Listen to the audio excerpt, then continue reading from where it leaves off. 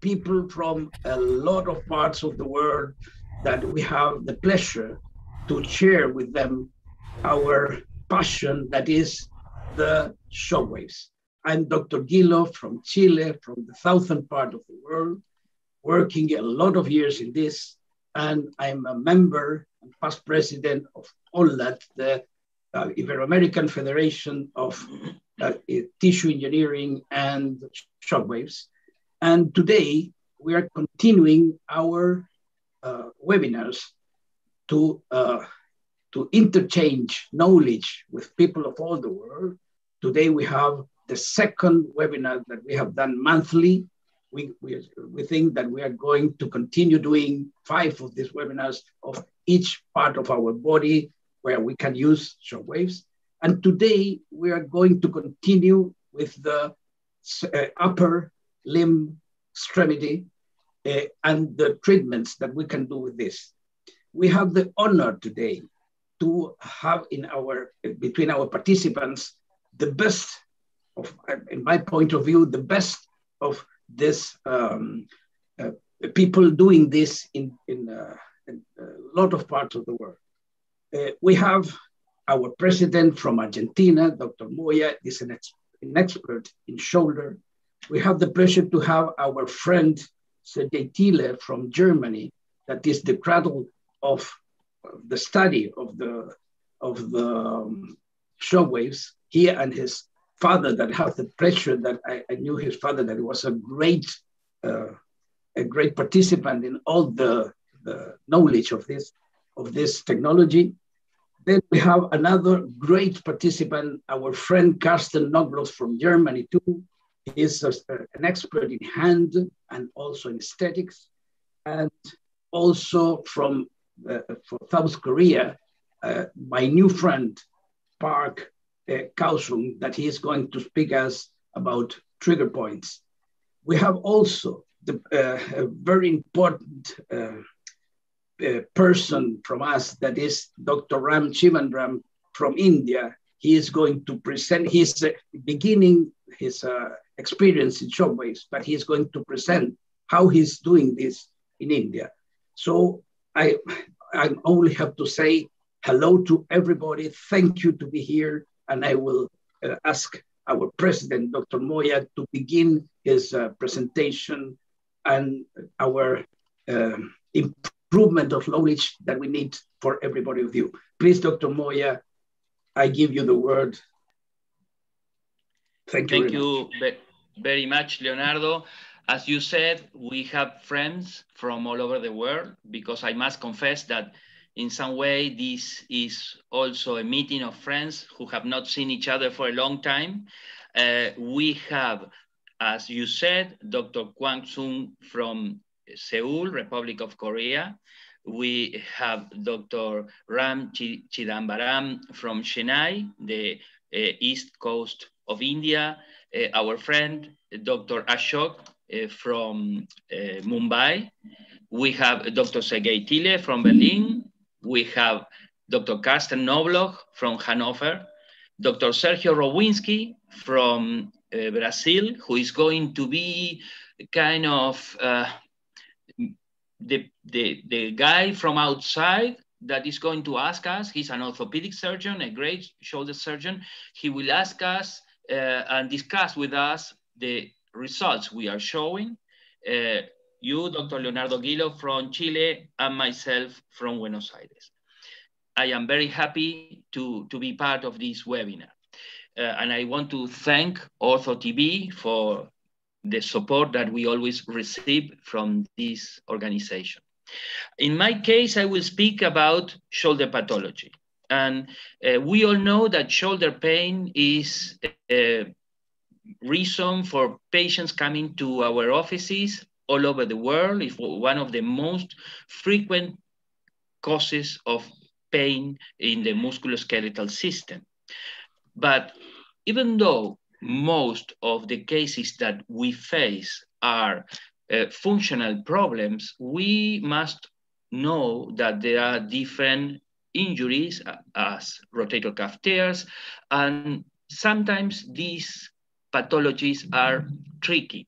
This is a case I received at my office, a 67 years old patient with diagnosis of rotator cuff tear that we can see on the MRI in the left side. This person had two indications of arthroscopic repair by two different surgeons and one indication for open repair. And he came to my office to have a second opinion, let's say a fourth opinion, and uh, to, to decide if open or arthroscopic surgery. And I saw the rotator cuff tear, but I also saw the shape of the humeral head. And I asked the patient x-rays and a scintigraphy. And in fact, what the patient had was a prostate cancer metastasis and would have been a disaster to operate on this shoulder. So the same applies to shock waves. Uh, to have a shockwave device or a, a device of um, radial pressure waves does not make us or transform us in specialists of a topic. So we must also be very aware of these situations and no, do not treat symptoms. We must treat diagnosis. Said that, we must uh, emphasize that according to the use of uh, shock waves and radial pressure waves in shoulder tendinopathies, we have two main indications, calcified tendinopathies and non-calcified tendinopathies. Calcified tendinopathies have uh, a thing that's very good for us, that they, the, the tissue have regeneration capacity. And this is demonstrated because sometimes it is spontaneous with, without our intervention. But non-calcified tendinopathies, tendinopathies that are related with the degenerative process, uh, have a limited regeneration capacity, and we must know that, and we must uh, decide in which cases it's worth to go ahead with a treatment that is not invasive and regenerative, regenerative and when it is not a good idea to do so and we need to choose another option. Speaking about calcification of the rotator cuff, this is the typical image. Most of the locations are on the supraspinatus, but we have seen calcifications in the infraspinatus, in the teres minor, and uh, more frequently than in the teres minor, in the subscapularis. It has been described, as I said, that this is a self-limited process in some patients. We began from a normal tendon. At one moment, we don't know why, there is a metaplasia of the tenocytes that become uh, chondrocytes, and we uh, have the appearance of vesicles with uh, hydroxyapatite crystals uh, in the cytoplasm of these cells. And so we can see in the calcific stage on the x-rays uh, the presence of the calcification. This phase can last a long time, and in some specific cases, there is a resorption, resorption a an spontaneous, a spontaneous resorption of the calcification, and we go back to the normal tendon. So by definition, it would be a self-limited pathology, but the point is that this does not happen in most of the patients. Many patients stay in the calcific stage. So in those cases is where we uh, participate trying to move on the situation. What about the symptoms? Generally in the precalcification phase, people are asymptomatic and there are not X-rays changes. In the calcification or formative stage, we have variable symptoms, but generally they are comparing to what we used to call an impingement, impingement syndrome. They are chronic symptoms, not sharp pain. Uh, but for those pa patients that go to the reabsorptive phase, uh, sometimes there is a very acute and sharp pain that is very difficult to manage, and thus is called the colic of the shoulder. It's comparing with the pain of a heart attack. It's very, very intense. And finally, we must stress that there is a post-calcification phase in which even though the calcification has disappeared, for some time the pain remains. And it is good for us to know this because uh, for the beginner, beginners, you will be surprised that in some patients, you treat the patient with shock waves, the calcification disappears, but the pain remains. And that's not a problem. Generally, it takes one to two months for the pain to disappear. We can classify the calcification according to their size, and we speak about with the Bosworth classification, tiny when they are barely perceptible, medium eh, when they are less than 1.5 centimeters, and large from 1.5 centimeters up. But a classification that is very useful for us to make decisions in the treatment and to have an idea of the prognosis is the Gärtner classification. In these classifications, type one, as you can see, are classifications that are very dense uh, with sharp borders, homogeneous uh, content, and this is a, a classification in an initial phase. Then we have the type two, that there are two possible uh, alternatives. One is to see a calcification that has an homogeneous content, but the borders are not clear, or just the opposite, clear borders with an heterogeneous content. And these calcifications are more advanced in time than the type 1, but they are still far from disappearing spontaneously.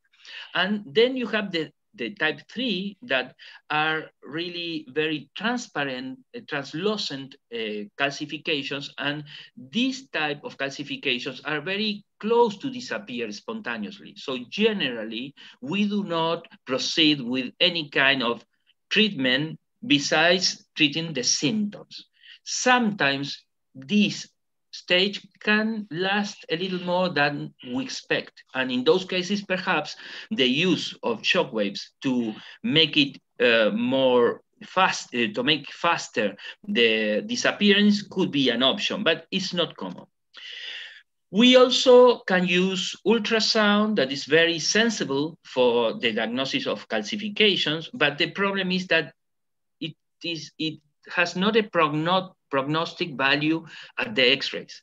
And MRIs are good to rule out associated pathology, but they are not the best way to diagnose calcification. Sometimes they uh, do not look clear in uh, this pathology, the calcifications in this kind of uh, studies. The classical therapeutic alternatives were rehab, subacromial corticosteroids, percutaneous needling aspiration and lavage, uh, lavage what the uh, French used to call barbotage. Uh, now, in the last years, ultrasound-guided needling has become very popular, and of course, open or arthroscopic surgery. What about rehab? Well, it, it was stated that the results of rehab were very good. But some authors have pointed out that even though we can have uh, initially uh, good results, there is a deterioration of the numbers with time. Uh, after one year, we went from 85% of good results to 60% of good results. And in many cases, it becomes as a chronic pain that is coming and going, and the people uh, uh, live with uh, their pain that is not acute, but is always there. There are some uh, negative prognostic factors that can show us that the patient has not a big chance of good results with rehab. And one of them is the presence of bilaterally uh, calcification, bilateral calcifications. Uh, generally, those patients have two times more um, options of have a bad result with rehab. Another thing to consider, and as you can see, we can um, evaluate and see these prognostic factors just with x-rays, is a high volume of the calcific deposits the medial extension of the calcification going beyond the acromioclavicular joint is another uh, bad or negative prognostic factor. And finally, the location in the anterior portion of the acromion, what we can see here as the area zero. In those cases, uh, we can expect not as good results as we can expect with rehab in other type of patients. When we did not have shockwaves, that was in my case 20 years ago, uh, I decided surgery when there was a failure of conservative treatment, when there was a symptomatic progression, on, or when I was dealing with a constant and unmanageable pain in the patient. In those cases, we decided uh, generally to go ahead for open or arthroscopic surgery. But after shockwaves appears, uh, we change our indications. And we know now that uh, the use of focus shockwaves in patients with calcifications is an approved standard indication by the International Society of Medical Shockwave Treatment because there is enough amount of um, evidence in the literature, in the scientific literature to support this. Uh, we perform a study, a review study uh, with a group of colleagues, including you, Leonardo, that were, was, uh, this paper was published the, at the International Journal of Surgery in 2015. And uh, we evaluate the information in the literature and we concluded that this is a non-invasive, safe, effective, and efficient method, as I will show you later. In 2018, we published uh, this paper at the Journal of Bone and Joint Surgery, uh, uh, making an analysis of the um, results according to the literature. We also use the grade of recommendation proposed by this uh, publication. And we found that for the treatment of calcific tendinopathy of the shoulder with focused shock waves, there is a grade A recommendation. That means that there is high level of scientific evidence and we should move from our uh, classical method of treatment to this new one. We have seen that uh, the good results are related with high energy. So there is no uh, good, we cannot support the, the use of radial pressure waves so far, at least for massive use, because the, the information that we got in the scientific um, publications is uh, insufficient. So uh, we have more evidence for high level of energy and for focus shock waves.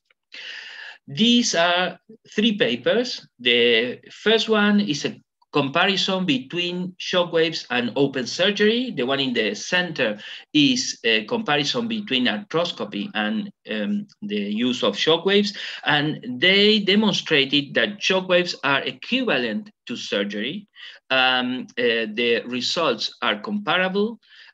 But what we see in the third paper on the right side is one paper that we presented at the International Congress of Shoulder and Elbow in Jeju, Korea, in 2016 with Silvia Ramon and the group of Quiron, where we demonstrated that the use of shockwave is not only effective, it's also efficient because we save from six to seven times the amount of money comparing with arthroscopic surgery with similar results. We always include a rehab program because shockwaves do not, uh, does not, sorry, um, give a solution for scapular dyskinesia, for um, stiffness of the shoulder or muscle atrophy. So we need always to include a rehab program. And these are some cases to show you before and after, as you can see here, with three sessions of shockwaves, uh, the results are very, very uh, surprising. And of course, we not always get this, but we get this in an amount of 60 to 70% in which completely disappears the calcification. We have another group of patients in which the calcification disappears partially. And we have some patients in which calcifications do not disappear. I have had patients with the same calcification in both shoulders. I treated both shoulders with the same device, with the same dose, and I got the resor resorption in one side and no resorption in the other side. I have no response for the reason. Uh, there are side effects like syncope, we have had syncope in some uh, patients. Uh, the, it's very sensible, the area, the area for some patients. We have had erythema. I have seen patients like the one I'm showing you with a hematoma, and this patient was treated with a device that was a radial pressure device by someone who had no experience. And of course, acute, acute pain sometimes related to the acute resorption of the calcification. So we can tell you about the use of shock waves in calcifications of the rotator cuff, that the, there is a lot of evidence supporting this, uh, not being an invasive method, uh, it is our first choice uh, when rehab has failed, and um, it is efficient um, to treat and to uh, give the patient a good solution. What about non-calcific tendinopathies? Well, the situation in this is completely different. Uh, we can see in the literature many review papers showing that there is no evidence. We can uh, see uh, even systematic reviews with no a meta-analysis with no clear results in the use of shock waves and radial pressure waves in non-calcific tendinopathies of the shoulder. In the paper I showed you before, the result for the use both of focus and radial waves uh, in non-calcific tendinopathies of the shoulder was grade C. That means that the, there is controversial information in the literature. But one of the points that I would like to make is that calcification is a very clear diagnosis. And non-calcific tendinopathies, eh, eh, we all, uh, after 50 years old, have a non calcific tendinopathies of the shoulder. But we do not know if it is the reason for pain or not. There have been described more than 90 differential diagnoses for shoulder pain. So I feel, and we make an analysis of with uh, Silvia Ramon and uh, with Federico Alfano that we presented at the ISMST uh, Congress in San Sebastian, in which we analyzed the papers in favor or against the use of waves in non-calcific tendinopathies of the shoulder and the quality of those papers is bad because it, the, they have no clear inclusion or exclusion criteria. Uh, the diagnosis of the pathology is not done according to the parameters of shoulder uh, surgeon point of view. There are many things that are not clear so we cannot expect to have good results with meta-analysis or reviews uh, of papers that specifically are not well done. So uh, we cannot recommend the use of uh, pressure, uh, radial pressure waves and shock waves uh, in a massive way for patients with non-calcific tendinopathies. Even if we look at, at the protocols of these papers. Uh, you can see in red the ones that are against the use with the, that have bad results, in green the, the ones with good results. And you can see, for instance, if we analyze the interval for applying waves, there you go from three days to 14 days. If we analyze the number of sessions, they go from two to six. The number of pulses from 700 to 3000. The dose from 0.01 millijoules from 0.78 millijoules and the frequency from 2 hertz from 12 hertz. So it is impossible, uh, even if we consider the protocols, to give uh, a recommendation.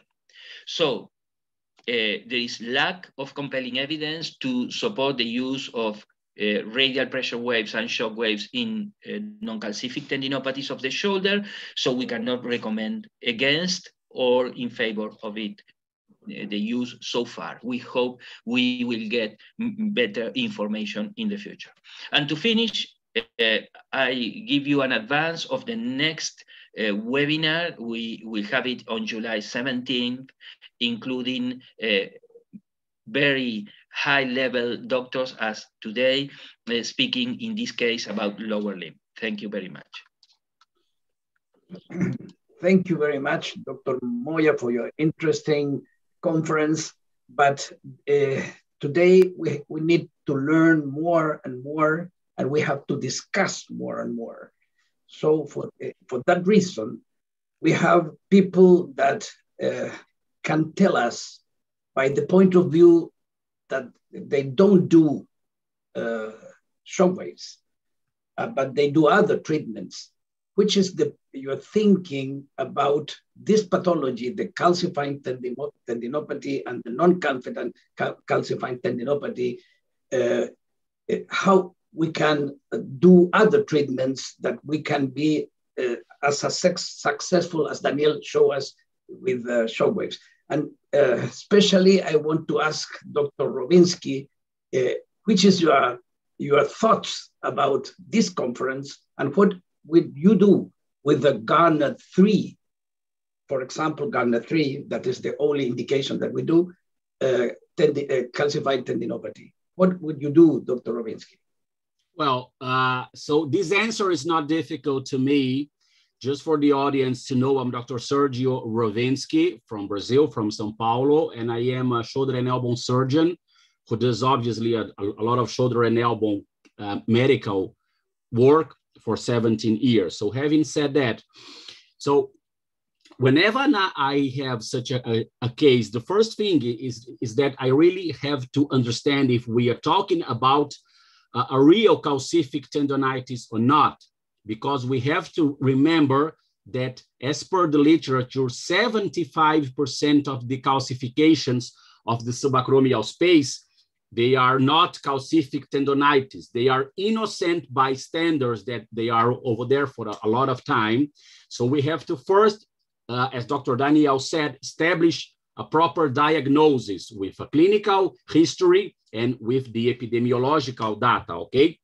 But but uh, when I pick up a case like, like that, and when I understand from a, a, a, clinical point of view and a radiological point of view that I'm talking about a calcific ten tendonitis, especially a, a radiographical point of view, uh, my uh, the way I have been managing these cases for 15 years is with subacromial injections, and they get better, and they really get better a lot.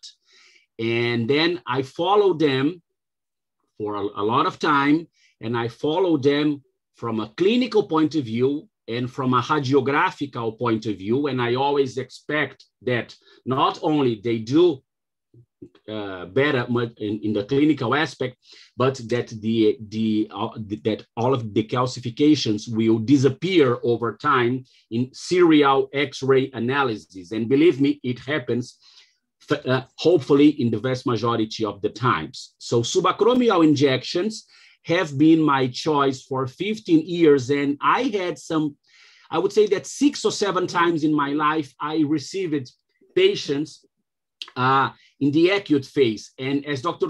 Uh, Daniel was mentioning, the pain is very strong. It's like the heart attack of the shoulder, and they always want to go to the emergency. So when they come to me, I do immediately a subacromial injection with a six or seven cc of xylocaine. I wash all of the inflamed bursa on the subacromial space, and they really do get better, and they get better very fast. And I follow them for a, a, a, a lot of, of time. Uh, so this is how I manage them, and I have been successful, but I've been hearing for a lot of time about uh, shockwave therapy for that, and it's always on my mind if my injections possibly doesn't work.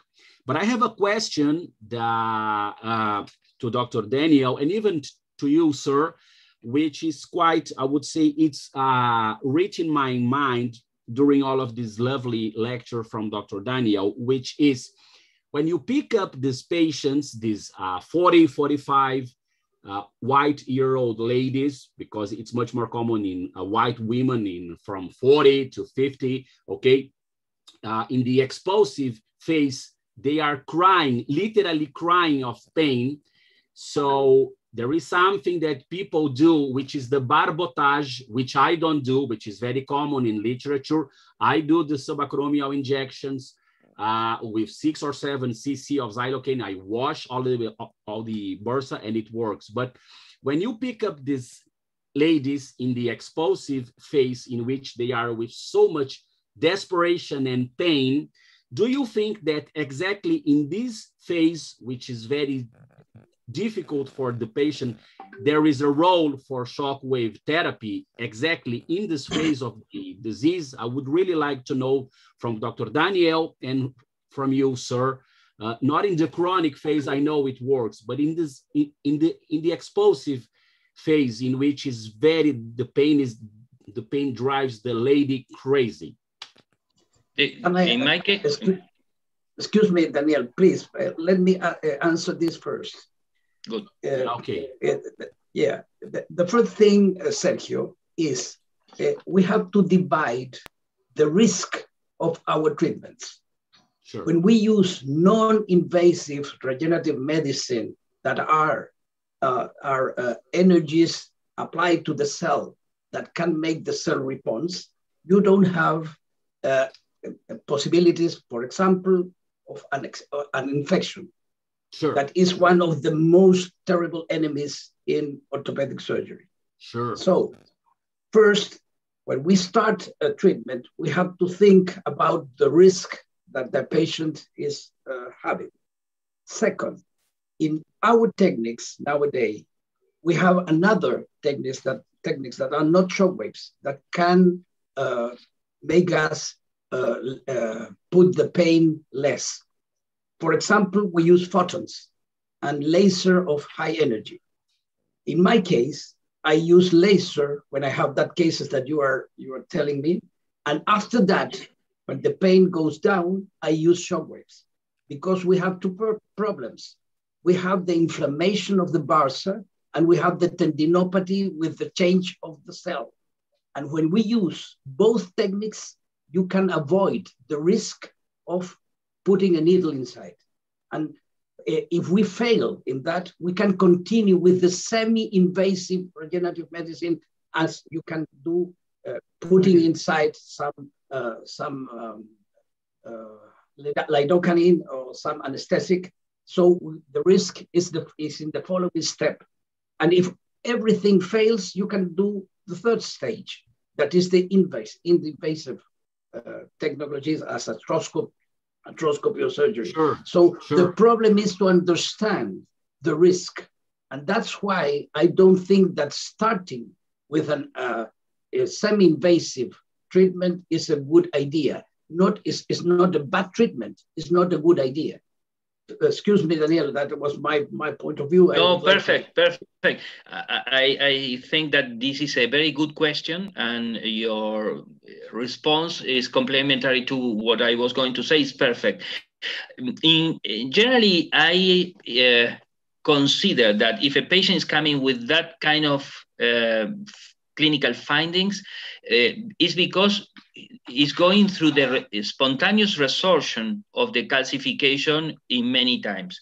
So it wouldn't make sense to me to, to do a treatment in which uh, what is going, what I'm looking for, is, it, it is what is going on spontaneously.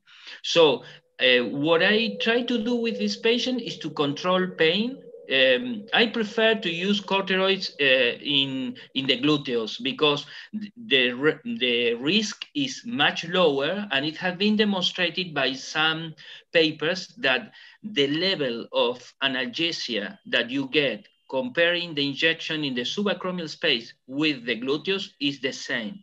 Okay. And the level of risk is much less. So I control pain and I follow up the patient with x-rays. If I see that it's disappearing, perhaps in two, three weeks, the calcification will disappear, most of it spontaneously. And if the if I see that the pain is controlled and the calcification does not move on, perhaps I can push it with a couple of sessions of shockwaves. Uh, can I can I make a, a comment? Can I? Sure. Sure, okay. please. Okay yeah, yeah, yeah. Uh, uh, I am getting all of this information. I am learning with you and with Dr. Daniel for sure. But there is one thing that I want to comment, okay? Because when you have the, I, I am still insisting in the explosive phase, which is not, we don't see every day, but this woman, they come desperate to the office. I have seen it almost 10 times in my life. And as I teach my, my residents, they want to bang the head on the wall they are desperate. They come always crying. So literature is quite, uh, I would say, uh, it's quite evident about the fact that we have a phenomena which is called exudatus. The exudatus that comes from the explosive phase in which you have a, a, gigantic inflammation of the bursal. This is what we, the subacromial bursa, this is what we call bursal leaders.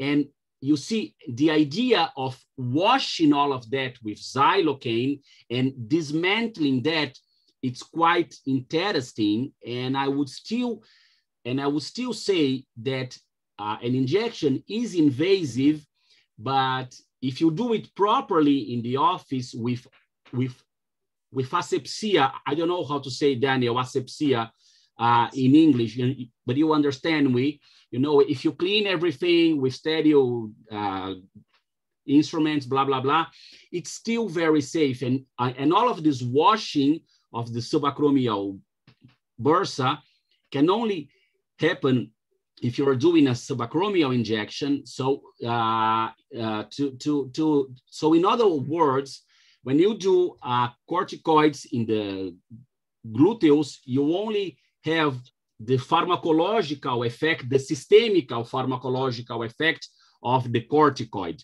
But when you do it here, you have this not a systemical effect, a local effect with a mechanical effect of dismantling all of the bursal leaders. So it's different, okay? From and uh, what's happening is different, and it makes sense in my mind.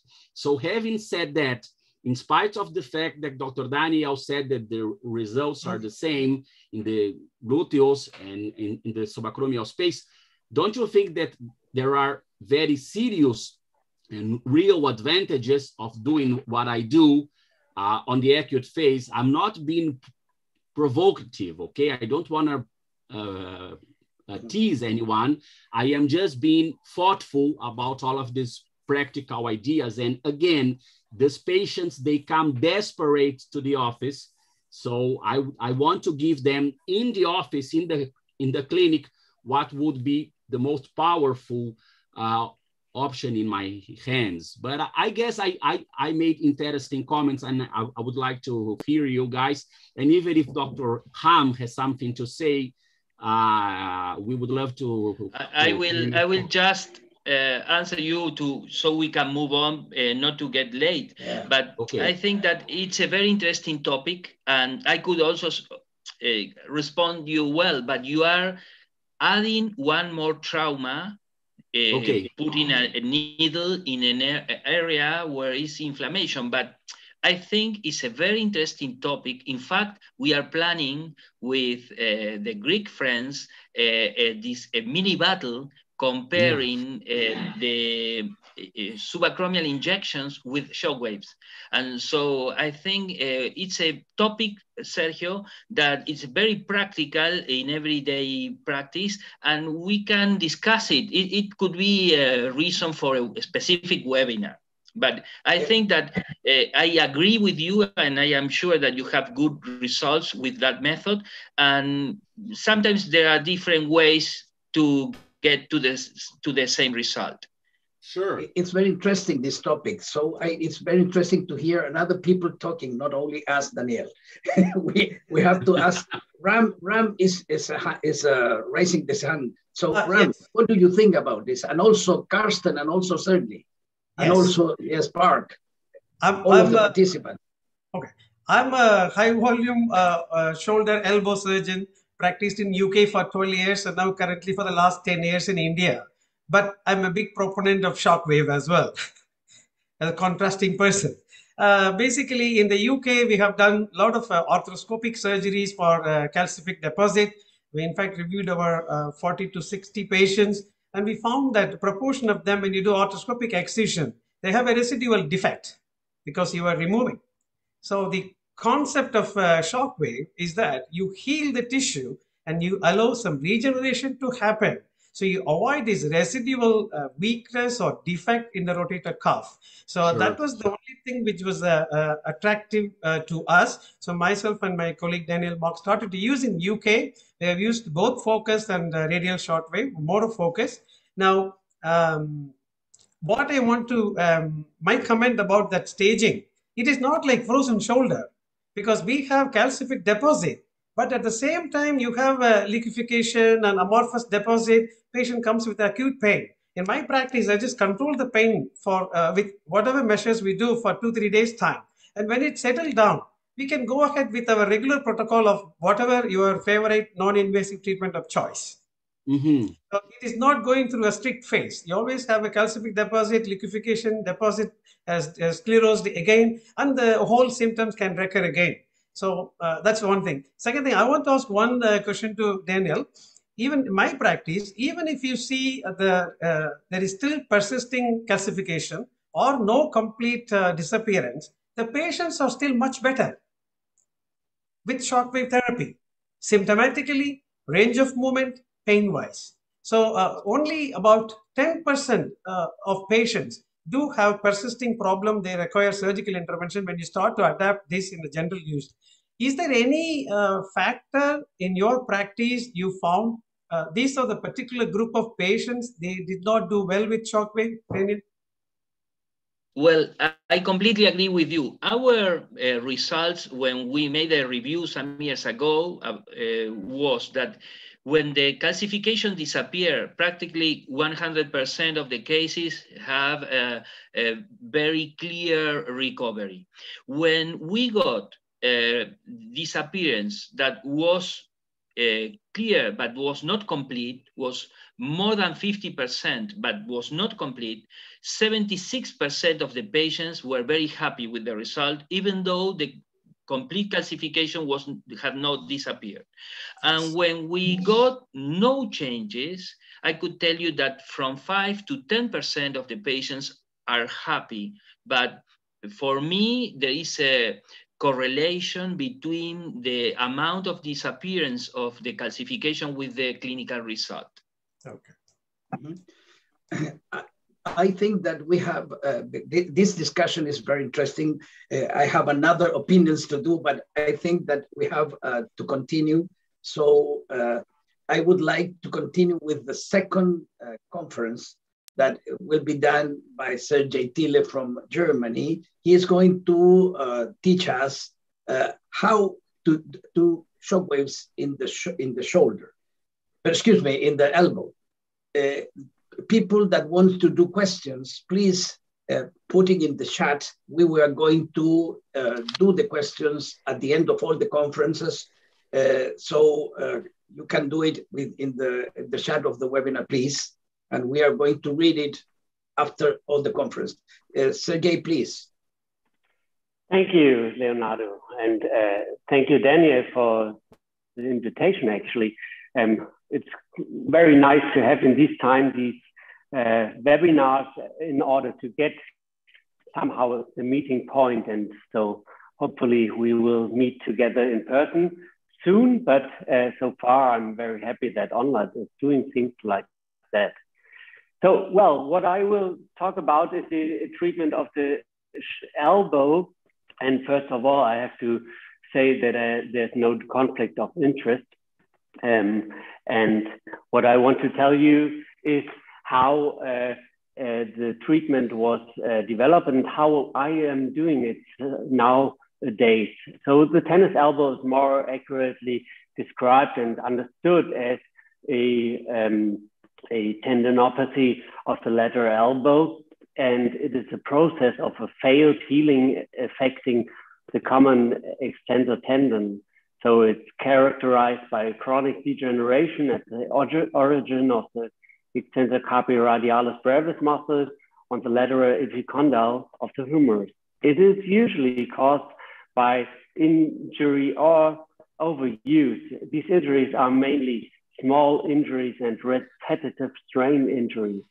So one of the, the most common tendinopathies of the upper extremity and an annual incidence of one to 3% of the total, total population.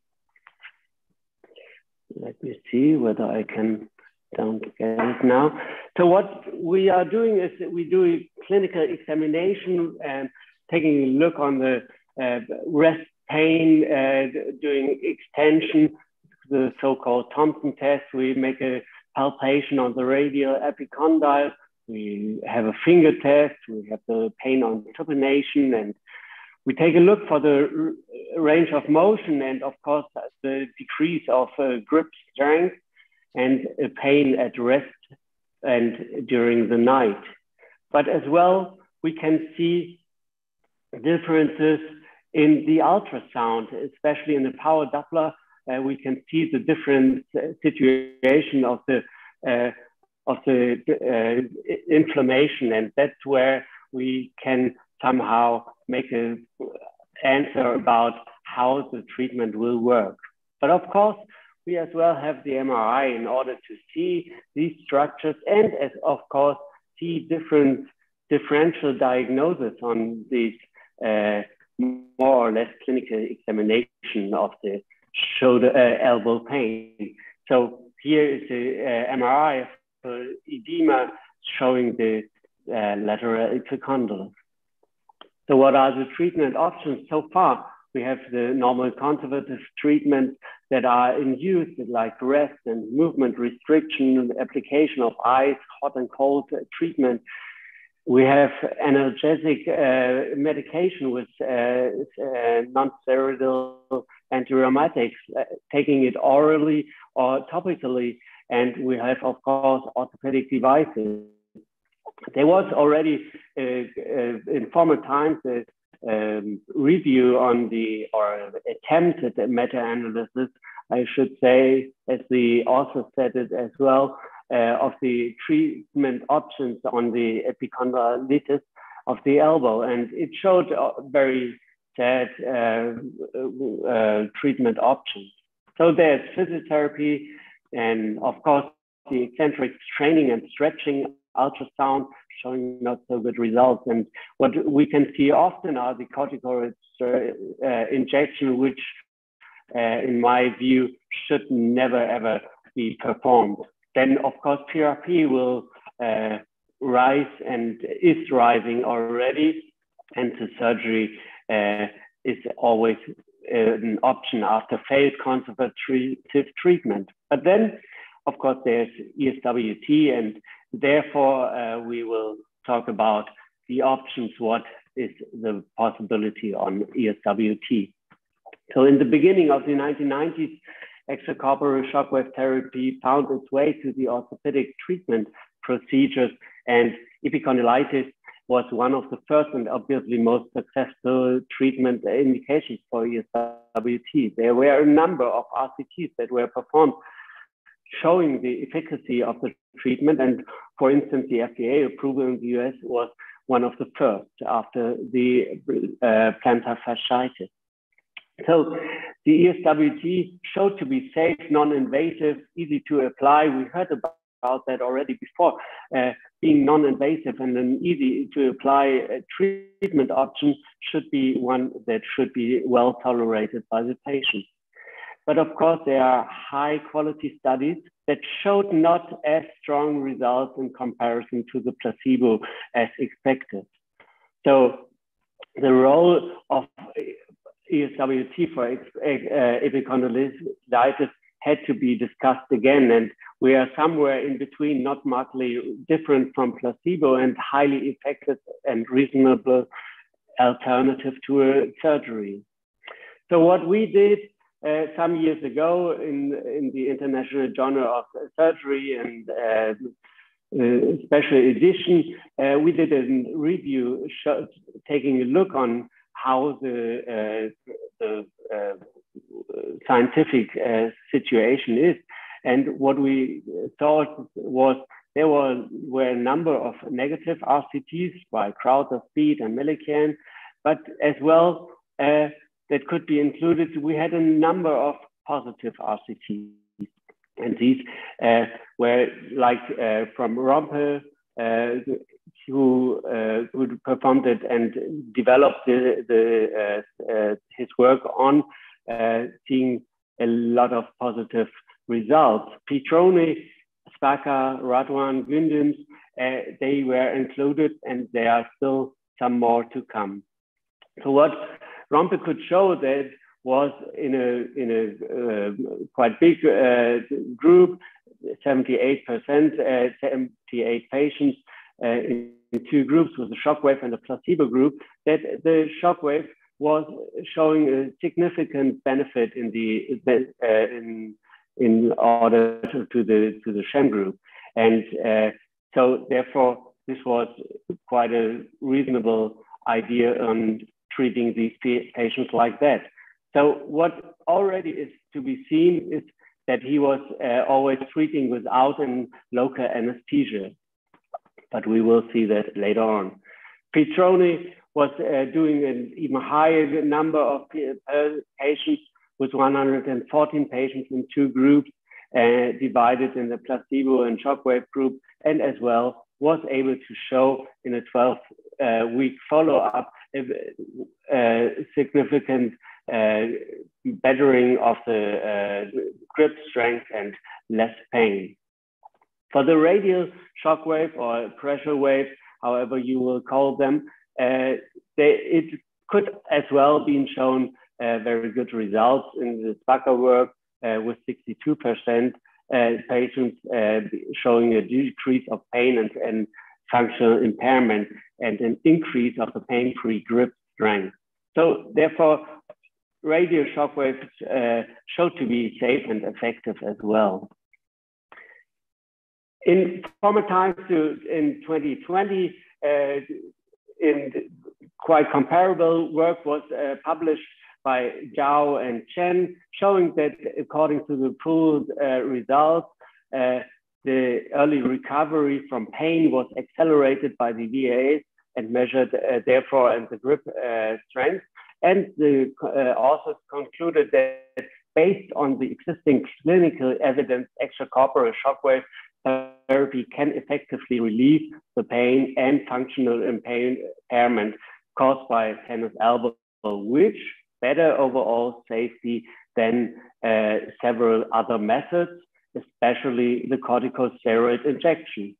So for the patients unresponsive to conventional treatment methods, clinicians should consider shockwave therapy as possible alternative. So what I already mentioned was the uh, lack of using uh, local anesthesia, and Labek et al. Showed in a, in a work that, uh, that showed a negative influence using a local anesthesia to the treated area, and therefore we uh, always try to avoid these. Um, the local anesthesia seems to inhibit the C fiber activity and therefore substantially uh, alter the biologic response to the shock wave. So therefore, don't ever use uh, local anesthesia in the treated area that you're going to treat. So after these uh, controversial ideas about using or not using shockwave, uh, we do see good results. And I do think, and I'm very keen on uh, hearing what uh, Dr. Park is telling us later on as well about the myofascial situation. And Silvia Ramon uh, uh, had done very interesting work on the myofascial pain syndrome and fibromyalgia and showing there the, these areas. And what I do, therefore, is as well that I do treat the muscle in combination to the uh, treatment with the shockwave therapy. So therefore, I as well do a chiropractic uh, uh, access on, on my patients. And then afterwards, I do the uh, shockwave treatment, maybe even combined with the acupuncture needle. And if I go here, you can see it as I go to the uh, uh, interesting area, then I do see that the needle is vibrating much more than it did before. So therefore, I do think that this is, are uh, showing some uh, results because before I was already treating the muscle and it should uh, make a movement as well. So after all, what do I do? I do some combinations. I do epicondylitis treatment with a focus device. And then I do a myofascial pain uh, treatment on the, the uh, uh, according muscles. And after all, then I teach my patients with a self exercise, doing eccentric load strengthening and uh, strength training uh, together. So after these, uh, I do see very good results overall. So thank you for your attention. And um, yeah, I'm looking forward for your questions. Uh, thank you very much, Sergej. Very interesting your your conference. And uh, before uh, doing the question to uh, our friend Sergio Rowinski that uh, could uh, tell us how he do this, I will make some a, a little comment. I'm hearing in all the conferences, in all the conferences, that we talk about epicondylitis, and my my um, way of saying this that is a, a tendinosis of extensor tendons. Why we continue uh, talking about epicondylitis and not epicondylopathy? Because when we uh, think about inflammation, we think about steroids, for example, inside the, the tendon. And uh, uh, before doing the question to Sergio, why, Sergej, you tell us that it's epicondylitis and not epicondylopathy? You think that is not a tendinosis of the extensor tendons? I do think that it is an uh, it is an uh, tendinosis of the of the attachment. Of course, I do, and I do uh, treat it as one in order to uh, get a detonemization of the muscle as well. But as well, I do see an inflammation at the point. So therefore, I was taking a look on the on the uh, Doppler ultrasound in order to to see these inflammatory uh, vessels there, uh, showing us that there is inflammatory uh, situation. We do have an edema uh, that cannot be uh, discussed as well. So um, no, I really, I, I do see the point that we do have to treat the situation why this uh, this uh, attachment is uh, uh, seriously um, in in in trouble, but uh, but I don't want to make a, a, a, change of the nomenclature as well. So therefore, no. okay, some authors say that that vessels that you see in the echograph, in the echography are uh, are abnormal vessels, are not inflammatory. Yeah. They're yeah. So I think that that discussion would uh, be for a webinar also. So it's, it's my, my idea is to continue. So I will ask uh, Sergio, you think that is, a, is it an inflammation? You use cortic, uh, corticosteroids. What do you do? You operate these cases? You think that is a self-limited uh, um, disease? What is your, your thought, uh, not about SBT? Okay, so the thing is, First of all, I love to discuss this. I love. Second, I would like to have two hours only to discuss lateral epicondylitis. I would love to, because I, I have a lot of things to say. Unfortunately, we don't have time, but I am suggesting you, sir, to do a webinar only on that because we see new cases every day. And I started to listen to this 17 years ago when I started my shoulder and elbow practice. And I'm listening to the same story. And because we have the questions, but we don't have the answers. So having said that, before telling what I do, let me give you some very fast thoughts. The first one is there is a classical description that the disease is not inflammatory, that it would be only angiofibroblastical tissue. I don't believe that because uh, I used it to send when I operated more many years ago, all of this, uh, the, the tissue to, to anatomopathological analysis. And it was always written by the anatomopathologist that there, there was inflammatory tissue and inflammatory re reaction over there. And besides that, as Dr. Sergej has said, we see when we operate that, which is very uncommon, a lot of vascular dilatation. So there is vascular reaction over there, which show us from a macroscopical point of view that there is inflammation. So we have macroscopical evidence and microscopical histo anatomo histopathological evidence that there is inflammation. So in my opinion, yes, it's an inflammatory and degenerative disease. So having said that, when I have cases with mild symptoms, I always start non, non-invasive methods with physiotherapy, but my practice has been, and I am very successful uh, because I don't use shockwave therapies to do something which I learned with Felix Savoie, which is a very famous shoulder guy from United States, which is to do an injection with corticoids with what we call the percutaneous scratching of the periosteum of the lateral epicondyle. So I enter with a little bit of xylocaine and corticoid and I scratch, I scratch the periosteum of the lateral epicondyle in order to induce bleeding. And that, and that blood would hence induce tendon healing. So whenever I started doing that, which was from 2012 to now, my results have been changing a lot. So I am adding corticoids with blood. So if uh, we know that the blood vascularity of the tendon, the tendon, the tendons is poor. So I am adding blood to the region coming from the periosteum. And once I started doing that, my results changed tremendously.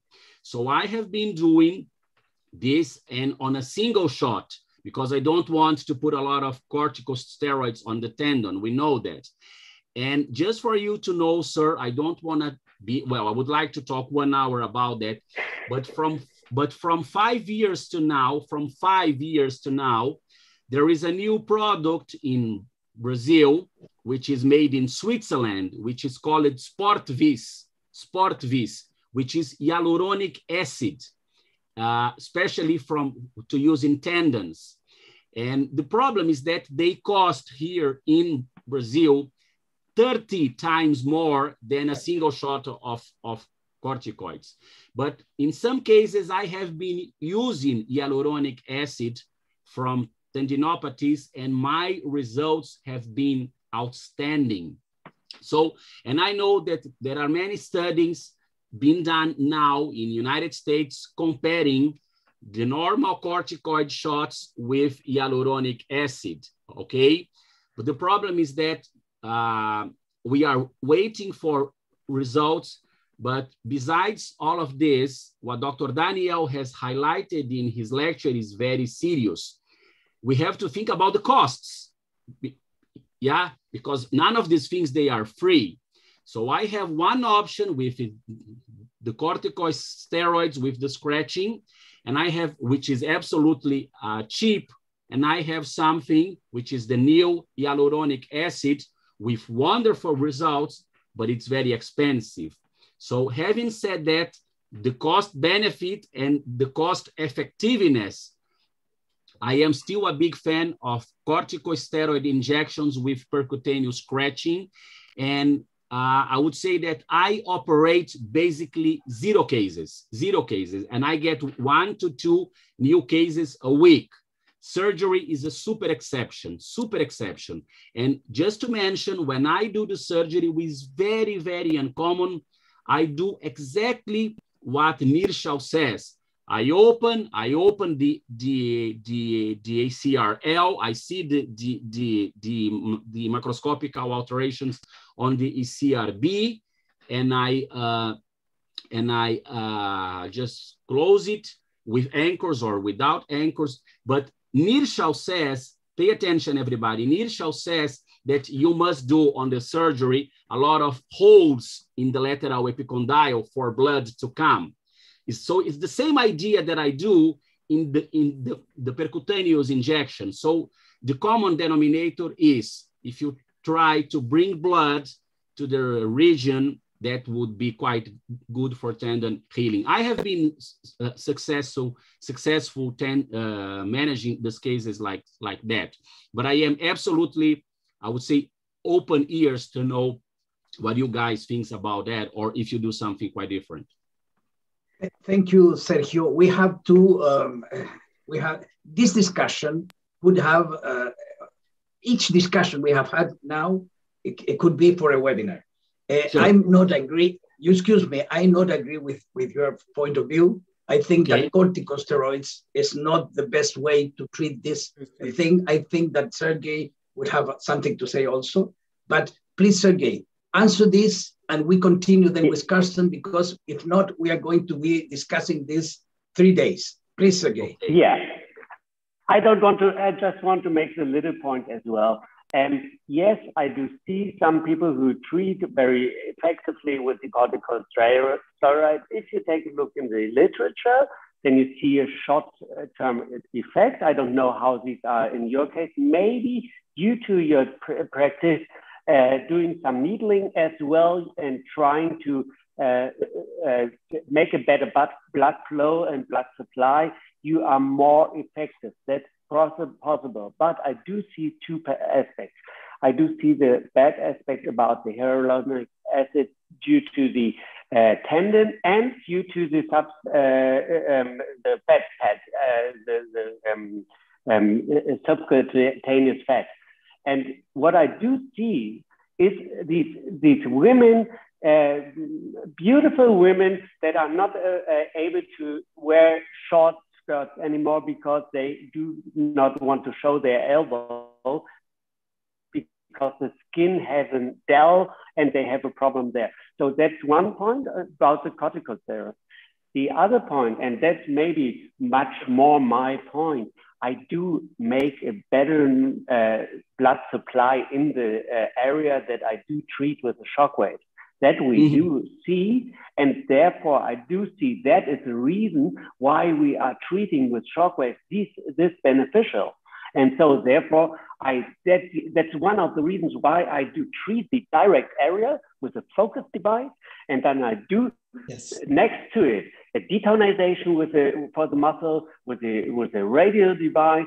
A, I, I do treat the the uh, information from the from the center, and therefore I do treat these these uh, these uh, tensions that are that are happening there, fascial treatment and stuff like that. So therefore, yeah, of course I do see your point, but um, I'm happy that I I'm over uh, corticosteroids so far. Okay, good. Thank, thank, thank you very much. Please, Sergio, I, I will won't continue with this uh, with this discussion because if not, the time will pass uh, and it's late for some, some of us.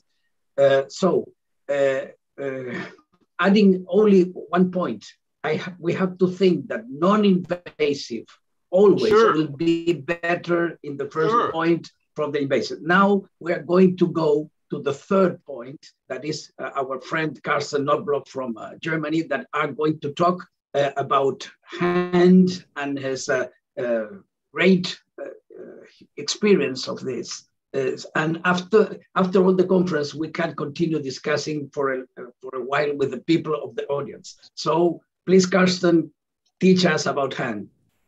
Yeah, Leonardo. And shockwaves. Dear Leonardo, dear Daniel, thank you. It is a uh, distinct pleasure for me to participate in this very multi-international, three-continent or even more uh, conference now. So uh, I will start uh, on a tiny bone uh, of the wrist, the scaphoid. And the scaphoid tends to lead to non-unions because of a poor vascular supply. And the major vessel is a retrograde uh, vessel fed uh, from branches of the radial artery. So oftentimes, given um, bones, um, related or non-union rates are related to poor vascular supply. And this is the case if it comes to scaphoid uh, fractures. The more proximal your fracture line is, the more likely a scaphoid non-union will appear. So the area or the location of the uh, fracture is of paramount um, is paramount in this aspect. Sergio Russo from Italy and his colleagues Bruno Corrado and others published in the 2000 book Musculoskeletal Shockwave Therapy by Mr. Coombs, Wolfi Schaden, and Su, the up-to-date, still the by far largest cohort study on scaphoid non-unions. They included 153 patients with scaphoid non-unions. They used focused electromagnetic uh, high energetic device uh, 4,000 shots, 2,000 from the dorsal aspect, 2,000 from Palmar, and they applied 0.5 millijoule, just to remember. And they were quite successful using this high energetic approach. This was published 2000. In my uh, book, ESWT Enhanced Surgery, Sergio again, 1919 years later, wrote a chapter on scaphoid non-unions, how I do it now. And if you look in his parameters, he's still using focused electromagnetic device. However, uh, if uh, with regards of energy flux density, he uses only 0.05 to 0.12 millijoule, so low energetic in a way. And if it if it comes or if you compare it to his approach in the late 90s, it is by tenfold less energies he's using now in contrast to 20 years before, for even better results.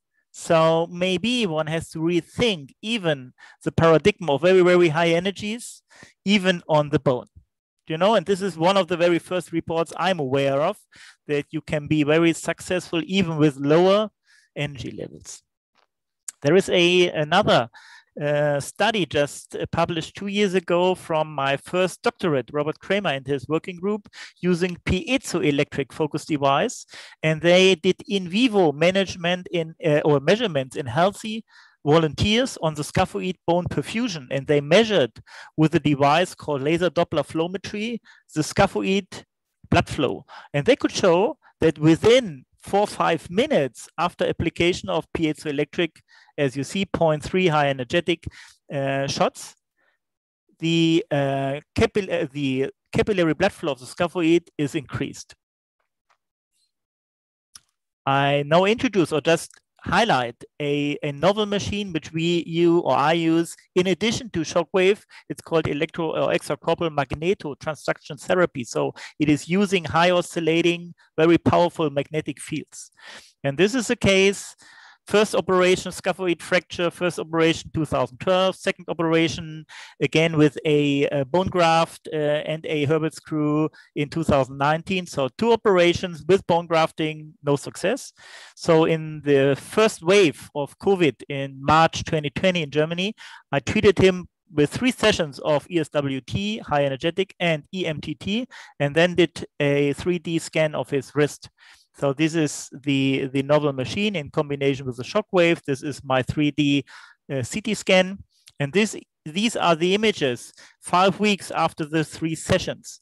And you see now, after nearly nine years of scaphoid non-unions and two failed surgeries within five weeks, a bony consolidation of a scaphoid fracture, just to give you an outlook. And this has just been published in medicine. Another case on metacarpal fracture. You see here the development, antegrade uh, wiring, uh, not successful, then bone graft, and uh, in my view, in my personal view, very short uh, plate here. As you see here, the tiny plate with only uh, four cort or two cortices uh, taken. Unsuccessful in the end. Again, three sessions focus shockwave and EMTT. You see is here, focus shockwave, uh, the parameters high energetic 0.35 millijoule 4000 shots and 6000 shots with the EMTT device in one session and again same same imaging studies before and after within, as you see, March 20, April 30, six weeks in between. And you see here nicely this, the bone graft and the non-consolidated fracture, and then the consolidation within three, uh, six weeks. Just to give you an idea, and has just been published in the German Hand Surgical Journal. So if it comes to thumb, osteoarthritis of the CMC1 joint. Uh, there is the Eaton-Littler classification, and we will hear from Park later diagnosis, and Daniel already told us, diagnosis and localization is everything. And if it comes to bone or thumb osteoarthritis, I believe it's crucial to have a very, not only locate the pain, but also the degree of osteoarthritis. And I'm using the aforementioned 3D uh, CT scan, and you can do this reformation work as you can see here, but you can have plane scans as well. And this is, for example, just for um, uh, description purposes, a Eaton-Littler osteoarthritis degree one. This is, for example, degree two with some subcon congrual sclerosis and some loose bodies smaller than two millimeters. Uh, I do it usually with both hands simultaneously, so you have a nice view on the right and left hand side. Here, a, a fourth degree Eaton Littler with subluxation, bone to bone contact, cysts, and so on, and adjacent STT osteoarthritis. So, and this is how I describe a patient before I offer any therapy. And if it comes to osteoarthritis of the thumb, I start usually with the orthosis uh, for six weeks. And I offer shockwave therapy, focus shockwave in this case. I will show you the data. Uh, then I offer, if, if I fail, uh, injection therapy by intra-articular so, so uh, ultrasound guided uh, hyaluronic acid and finally surgery. That's my approach.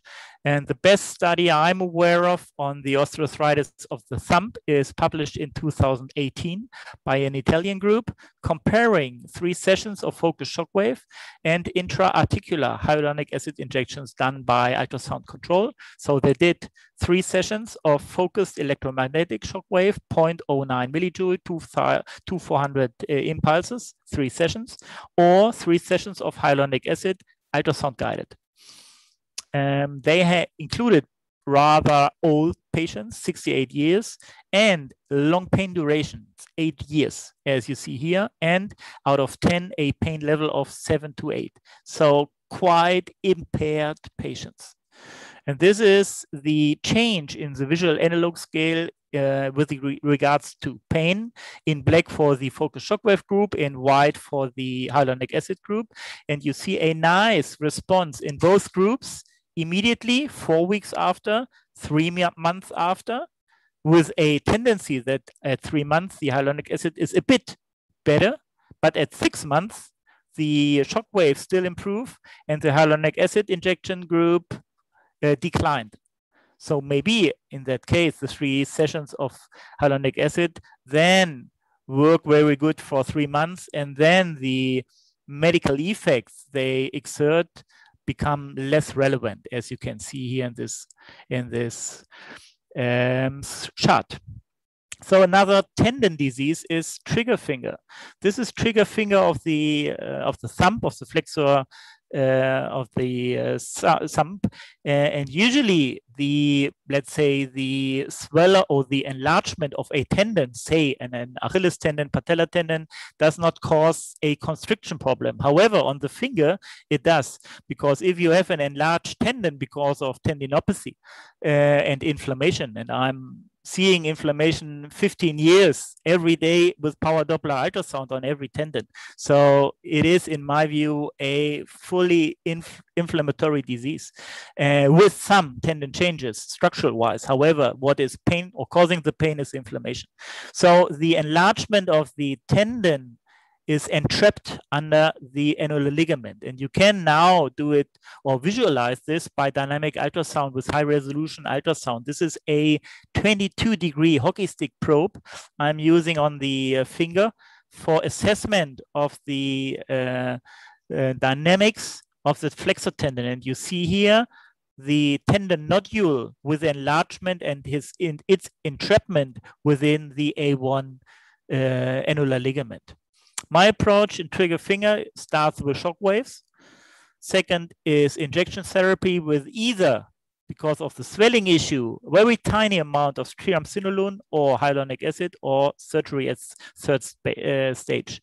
We have by now five, actually another Japanese or uh, Chinese study, six studies mainly using radial pressure wave devices. The first by Nikos Malliaropoulos, published in 2014, then an RCT 216, uh, cohort study here piezo wave and a combination of focused and radial shock wave in this group. Um, of note, the first study Nikos presented here on Shockwave Berlin in 2012. Um, he was using radial pressure waves, 2000 shots, but only 0.4 bar and only very slow 5 hertz. So not 10, not 15, not 20 hertz, 5 hertz and 1.4 bars at that. So very low pressure and very slow.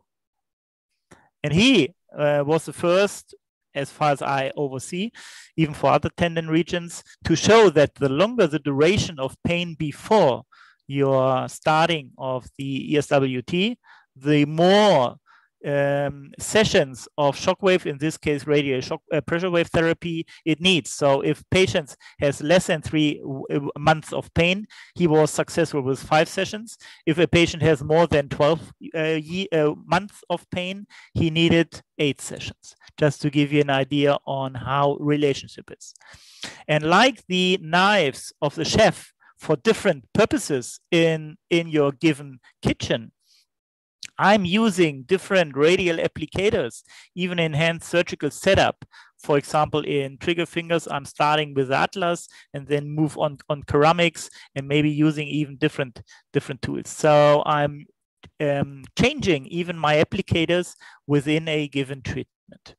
So shortly on the carpal tunnel syndrome, a neuropathy, or compression neuropathy, neuropathy, where the medium nerve is covered under the ligamentum carpi transversum in the carpal tunnel with adjacent nine flexor tendons. And if on the one hand, you have flexor tendinopathy with an enlargement of your tendons, the space within the carpal tunnel becomes less and there might be some compression issues.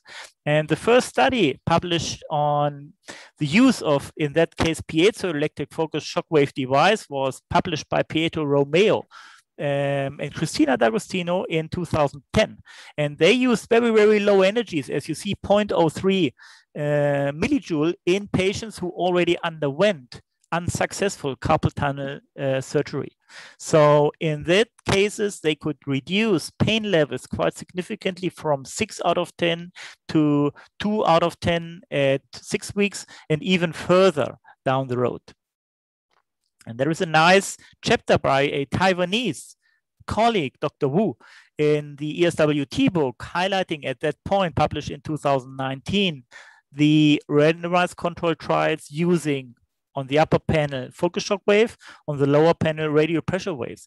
And it appears that on the one hand, clinical wise, patients improve, uh, related to improvement in Boston uh, carpal tunnel questionnaire, which is a validated Neurophysiological wise, the patients improve, and even by ultrasound. And you can measure some very special things like fascicular, fasciculization and diameter changes of the uh, of the um, nerve of the median nerve, and they improve. So there is solid evidence even by now for uh, for the use or for considering shockwave therapy in carpal tunnel disease. Some last words on Dupuytren disease. So in Dupuytren's, it's very crucial to differentiate uh, the nodular stage where you have only nodules and no contracture, where in Germany we offer radiation therapy or by now focused shockwave therapy. I will show you the evidence for this.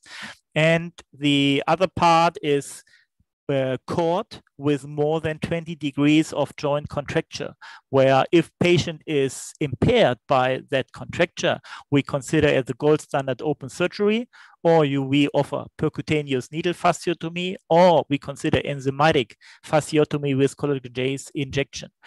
Um, we did a uh, long time ago, actually, when I was still in hospital, but uh, published now, a study in painful nodular stage of uh. We used focused electromagnetic device. It was published this January as a randomized controlled trial. And we, con we did three sessions, 0.35 millijoule, 2000 shots, in contrast to a placebo treatment.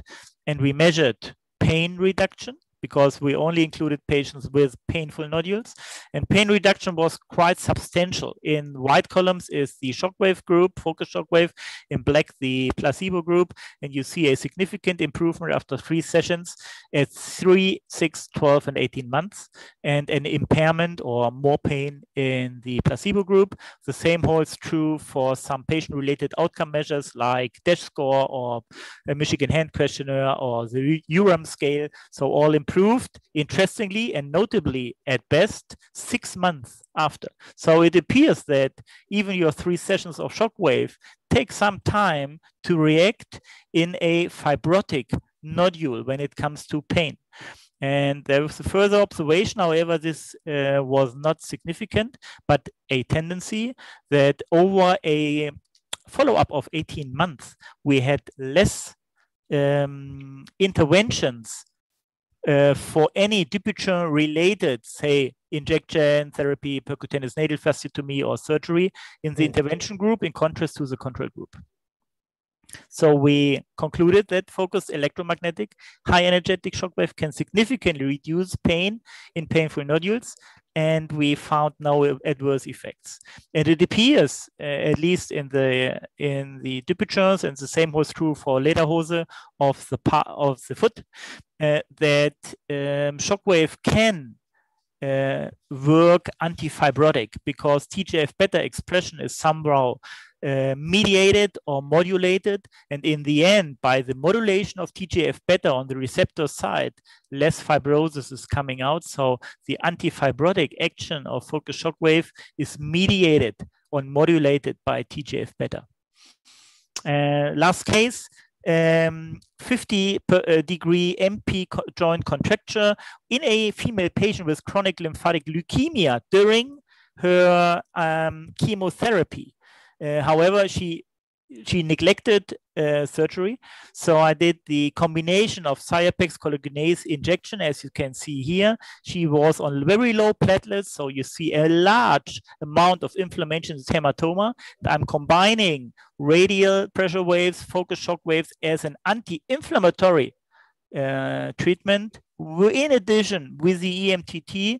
And you see here on the day I did the cord breaking, so you remember 50 degree, 50 degree beforehand, immediately after, and four days after, a significant and very rapid um, relief of the hematoma and the inflammation by the combination of focused radial shockwave magnetotherapy.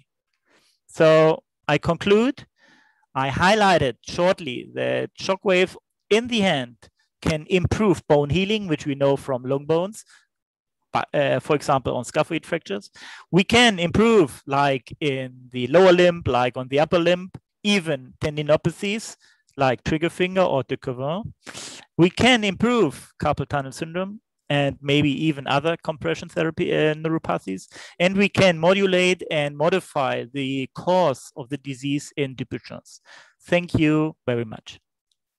Thank you very much, Karsten. Very, very interesting, your conference. And uh, in honor of time, I will ask all the audience to make questions because we have to continue I, I, excuse uh, that uh, we are not going to make a discussion in this moment because we need, uh, in honor of time, to continue. So um, uh, the only thing I, I want to say that we can combine physical physical energies to improve human tissues, and that has been demonstrated by all the conference uh, that we have here today. And now we are going to hear uh, uh, Professor Park from um, Korea that are, are going to tell us how he do in myofascial points treatments with shockwaves or with combinations that uh, he has a lot of experience. Park, please. I think it's a video that has to be put it, uh, done by uh, uh Professor Park. Please, thank you. Orthopedic surgeon from South. Hello, everyone. This, this is Dr. Kwangsun Park, an orthopedic surgeon from South Korea. Today's topic is about treatment of trigger points around the shoulder.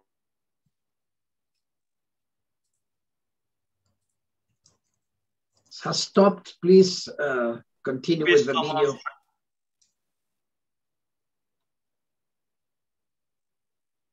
Sorry, Leonardo. What's the problem? Okay.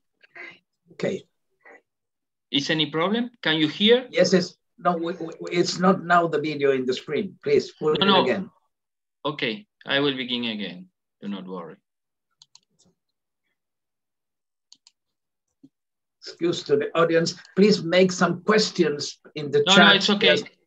Hello, everyone. This is Dr. Kwangsun Park, an orthopedic surgeon from South Korea.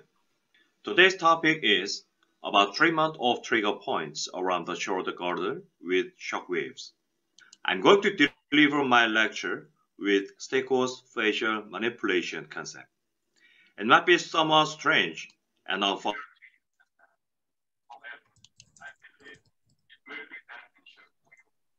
It doesn't hear, Daniel. It's problem. It's a problem with the with the video.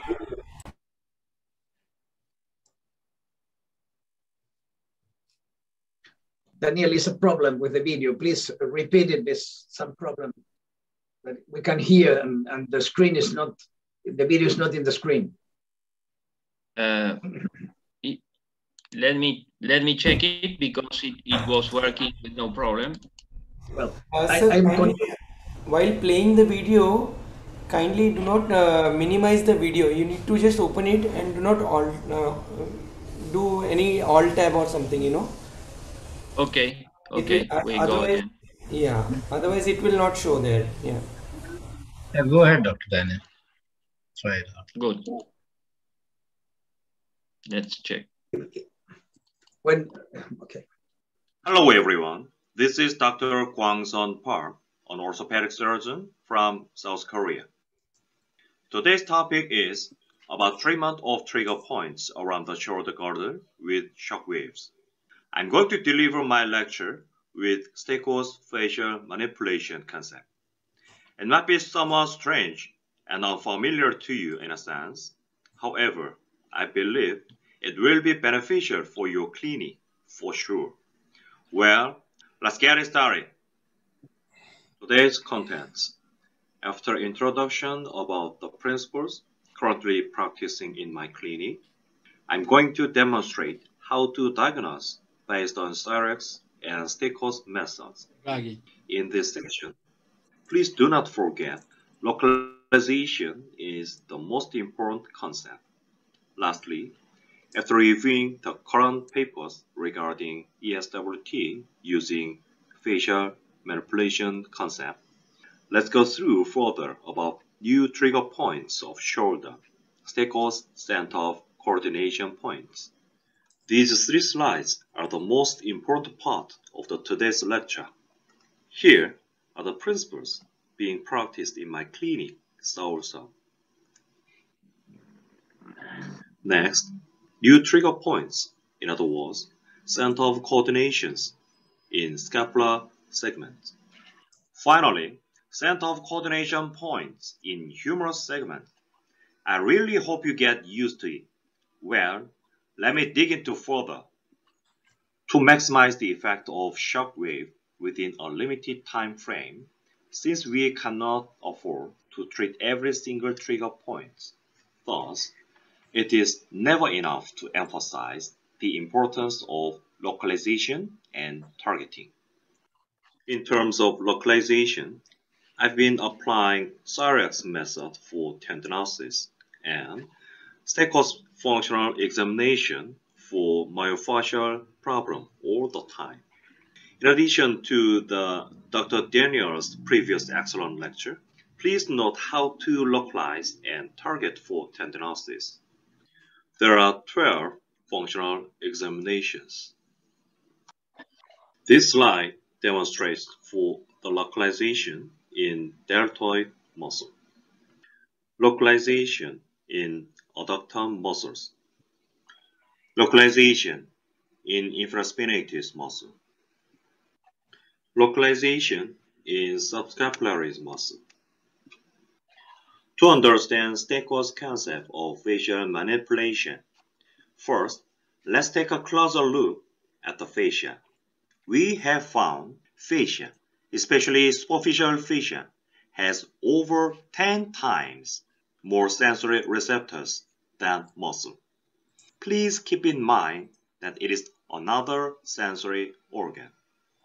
Let me tell you some interesting article. As a result of injecting hypotonic saline into each layer of subcutis, fascia, and muscle of patient with low back pain. The thoracolumbar fascial layer caused the most severe pain. According to Carla Stecco's theory, hyaluronic acid in the deep fascia facilitates the free sliding of two fibrous fascial layers. When a problem arises here, myofascial pain occurs. Antonio Stecco said, when viscosity of hyaluronic acid increases at a point called center of coordination, the sliding system in the center of coordination decreases. Ultimately, symptoms arise at the center of perception. As seen in these ultrasound images of patients with low back pain, compared to the normal, it shows that the fascial sliding system is clearly disrupted. Now, it's time to introduce radial pressure wave treatment technique using Stecco's fascial manipulation concept with the intention of eliminating fascial densification using radial pressure wave device. In addition to compression, to back and forth, and even rotation, the concept of friction is the core of radial pressure wave technique. Here is an interesting study published in 2018, which is applied in the shockwave of Stecco's concept to treat the frozen shoulder. By applying radial pressure wave only, it has brought favorable outcome by setting treatment points for humerus, scapula, and arm according to the sequence concept. In the case of shoulder pain patients, as all muscles are always within the continuous fascial sheath, it is a principle to check the arm and forearm together with the scapula as a treatment point according to the movement.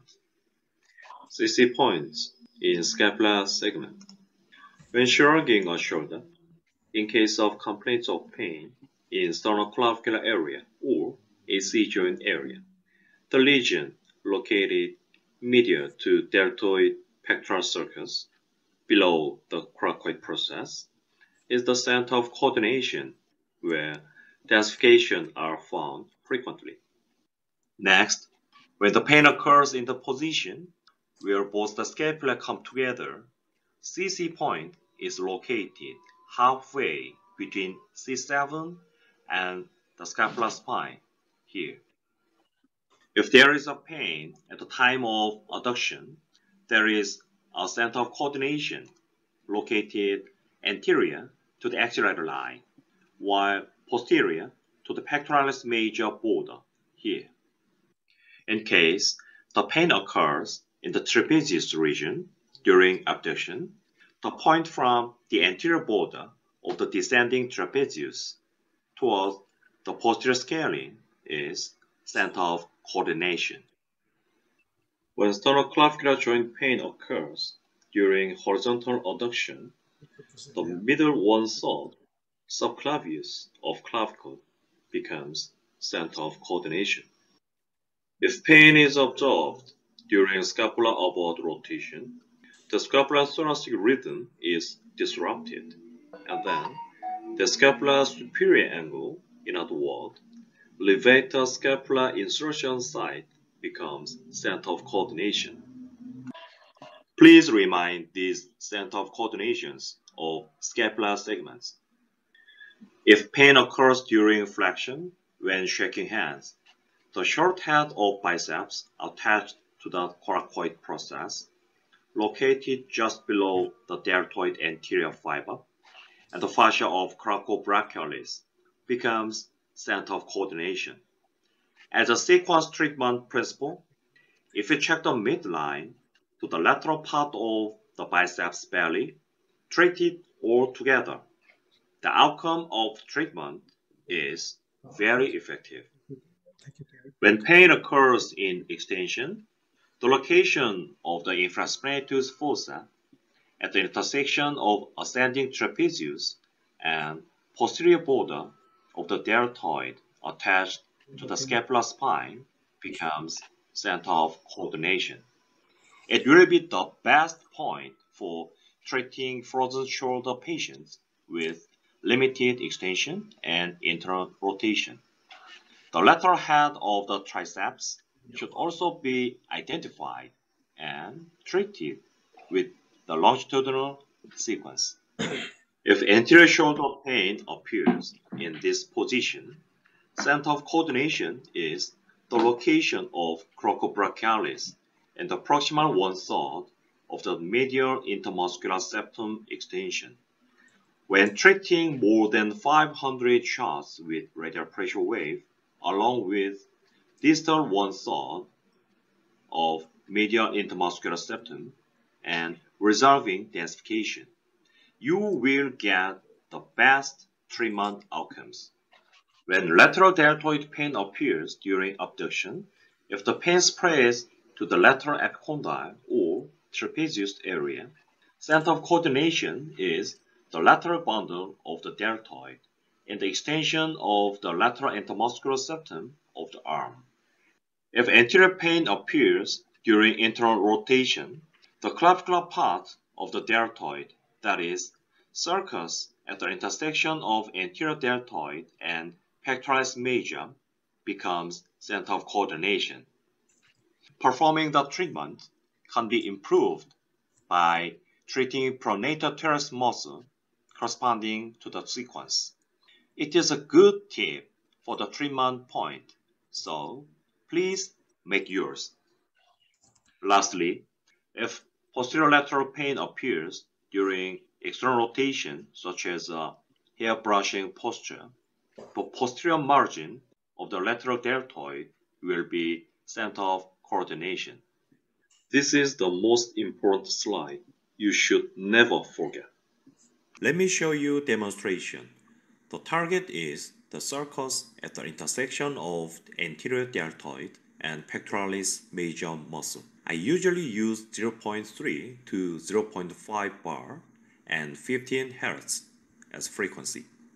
The technique is combination of compression, back and forth, and rotation. As using my own weight, it is easy to apply compression force in order to resolve densification. Next target is lateral bundle of deltoid muscle. I usually use 1000 to 1500 shots in a target point. Please check range of motion after treatment. In addition, as a sequence treatment, lateral intermuscular septum is good target as well. Thank you for paying attention to my lecture so far. If you have any comments, opinions, or questions to point out, please send me a message. Thank you so much. Thank you very much for hearing this interesting video from uh, Dr. Park.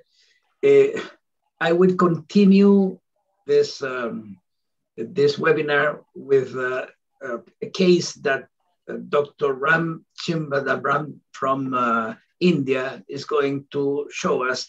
And after this, we can continue with the discuss. And I ask everybody in the audience if they can put questions in the chat. Thank you very much. Uh, please, Ram, uh, tell us what is your case? Okay, Th thank you. Uh, am I audible? Yeah, I yeah. see perfectly. Yeah, okay. Thank you, uh, Daniel, for your kind invitation uh, to this August meeting and also uh, offering me honorary fellowship of your uh, federation. I'm very happy with that uh, to learn more and uh, about the shockwave therapy. I have been using shockwave therapy as a mode of treatment for selected patients, both in my UK and Indian practice. And I just wanted to share one case which has been recently treated. Um, it's a 57 year old homemaker lady uh, presenting with pain in the left shoulder after lifting water pot uh, one week ago. She had some pre-existing mild pain for six months, but no limitation prior to this. Now has severe difficulty in activities of daily living, continuous pain, night pain, sleep disturbed, unable to look after herself, do any work, had NSAID for one week, but no good result. So that was her range of movement. I just wanted to show this uh, case as a uh, case to demonstrate. So that is her right shoulder. That is her affected left shoulder. Abduction is hardly 30, 40. Passive is also painful. That's a range of uh, external rotation.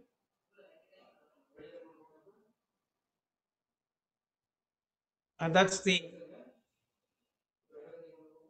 she couldn't reach even to uh, hip or sacroiliac joint. So that is her x-rays.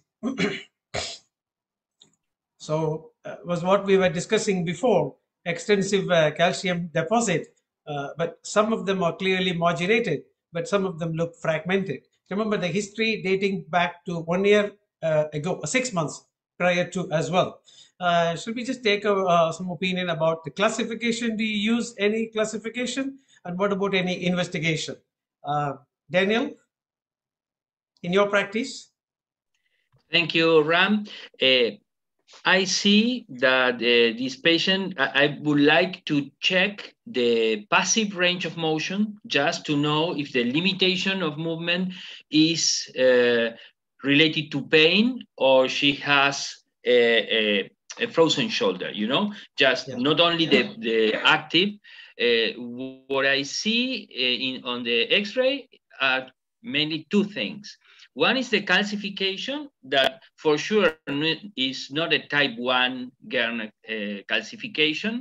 Uh, yes. Perhaps the acute pain that she is feeling is related to the reabsorption of, of this calcification. And I also see that there is a kind of dropping shoulder, perhaps related with the uh, limited range of motion and uh, atrophy of the muscles. But uh, my first goal in this patient would be to control pain. Uh, I think that that's the main point for me.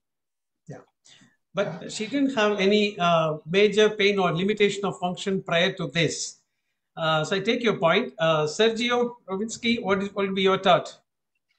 Well, uh, just just a second. Uh, I'm not seeing myself, so but but I I'm not seeing myself. But uh, can you see me? Can you listen to yes, me? We, yes, we can yes, see yes. you.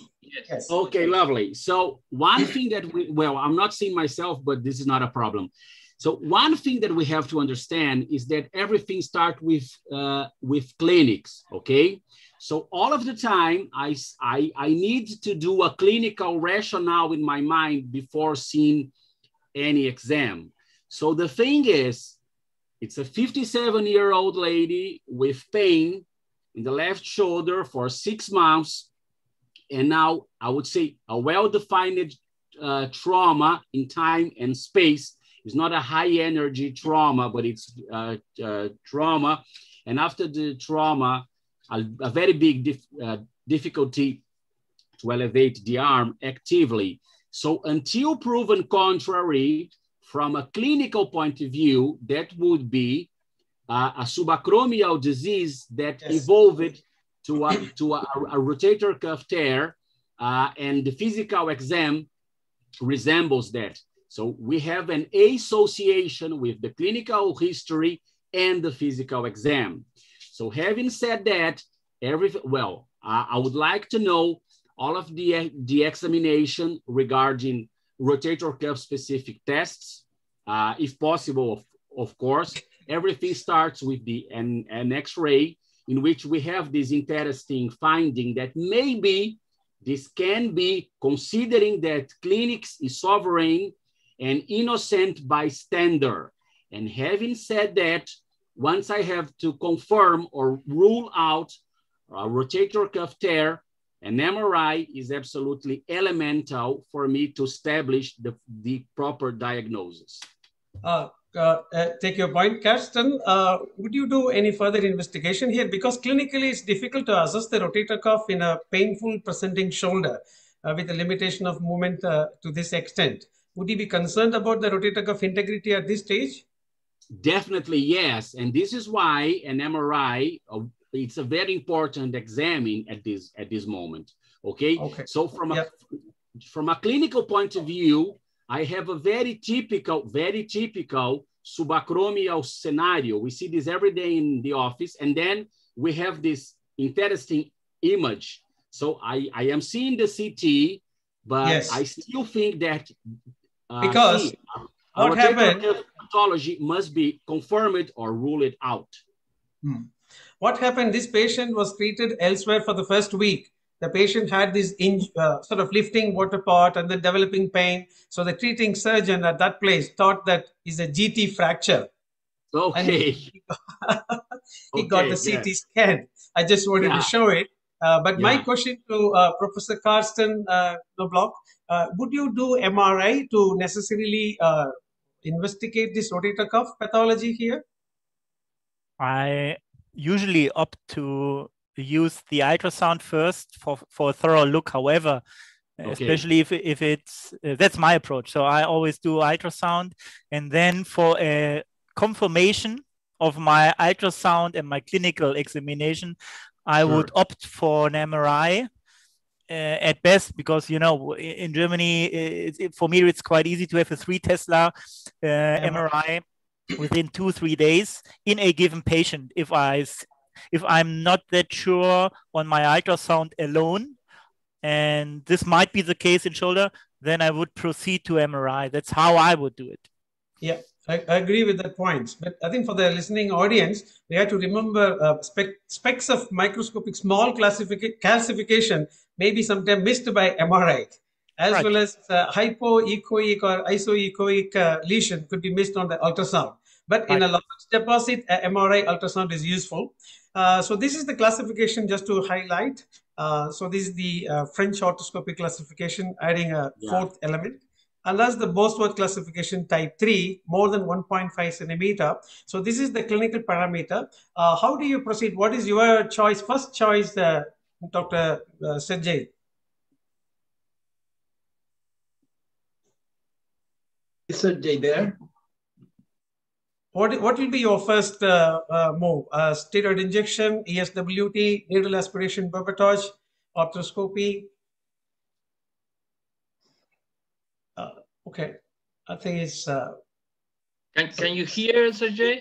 Yes, please.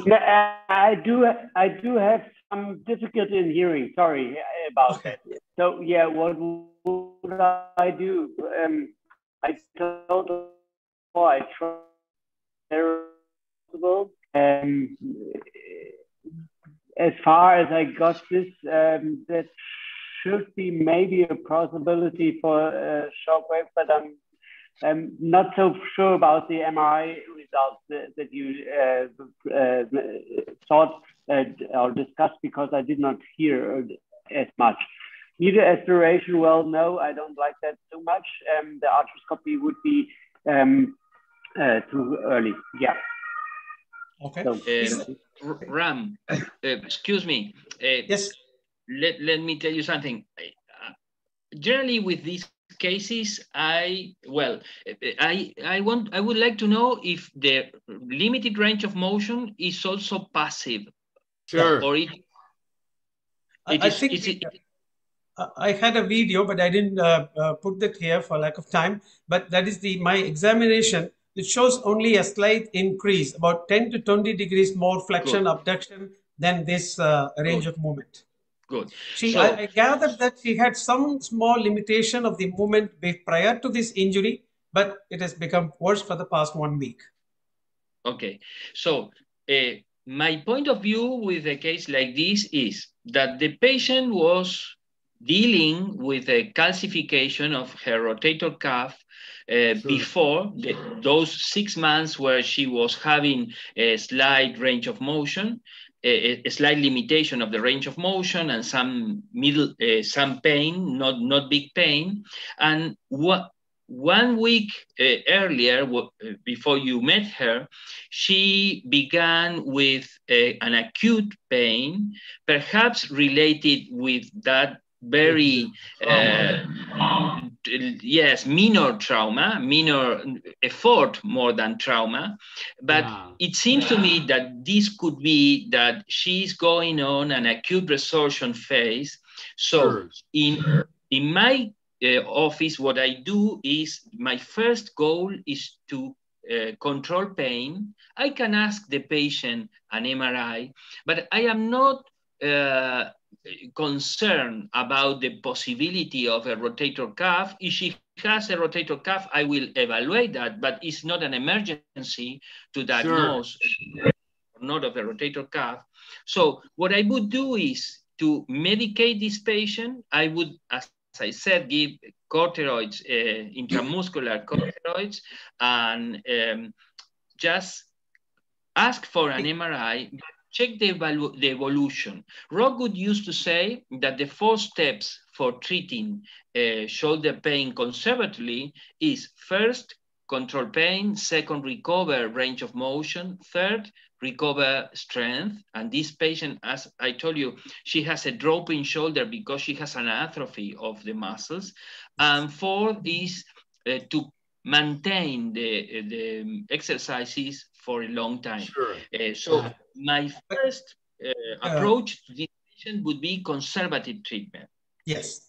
We, we, Uh, uh, um, can I make a, she a, had, a point? she had been, uh, just to uh, add information, she had been having uh, analgesic, injection, everything for last one week and is still persisting with pain with limitation of movement. So the Yeah. treatment has been initiated by the treating surgeon for one Yeah. week.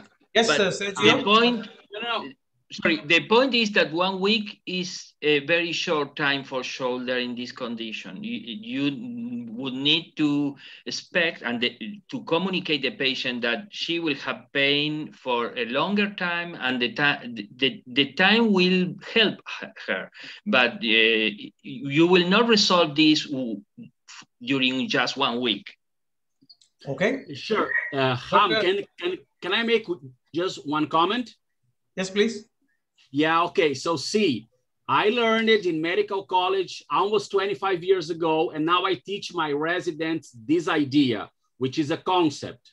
There is no proper treatment without a proper diagnosis.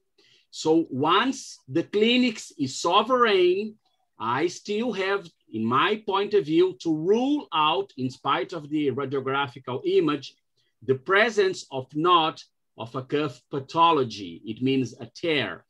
So before I, I know uh, we have to manage pain, but I still have to establish, as all of the cases in my life, the diagnosis. So having said that, an MRI seems elemental to me to define the diagnosis. No proper management without a proper diagnosis. This is a message for the juniors, and I think that this is this makes sense in my mind.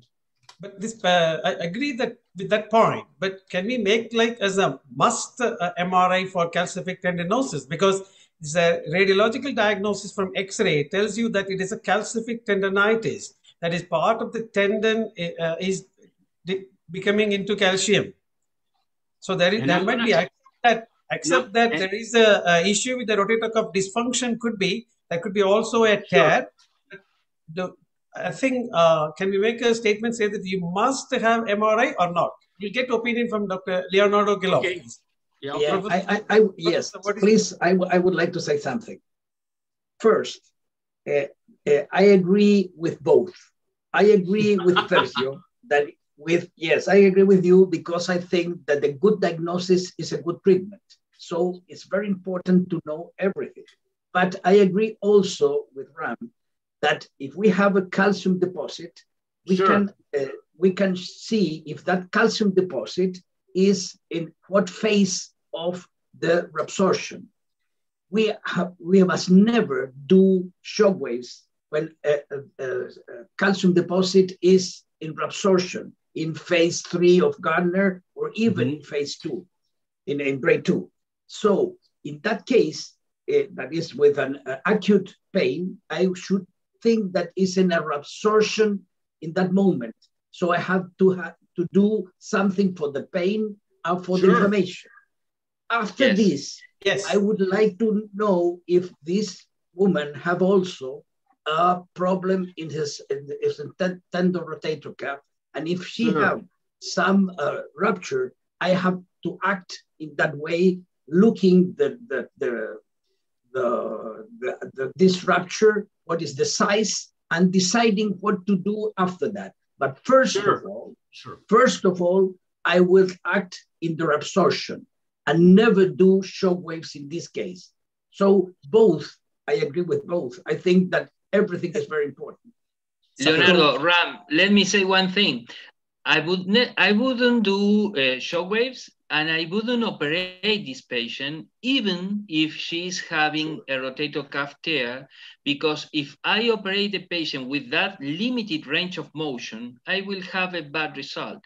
Yes. So I, you need to have a strategy and say, okay, let's sure. go step by step. First of all, let's put some, you know, stop the fire here, stop the pain, stop the sure. uh, work on the range of motion, and then we will see. We can always ask an MRI, and I can always operate on this patient because it's not an emergency. Not to, an emergency. Uh, to repair the rotator cuff, and there is something so clear and so obvious, uh, the calcification, that I first want to uh, address that, and then I have time to move on uh, to, to the repair of the rotator cuff if it is necessary.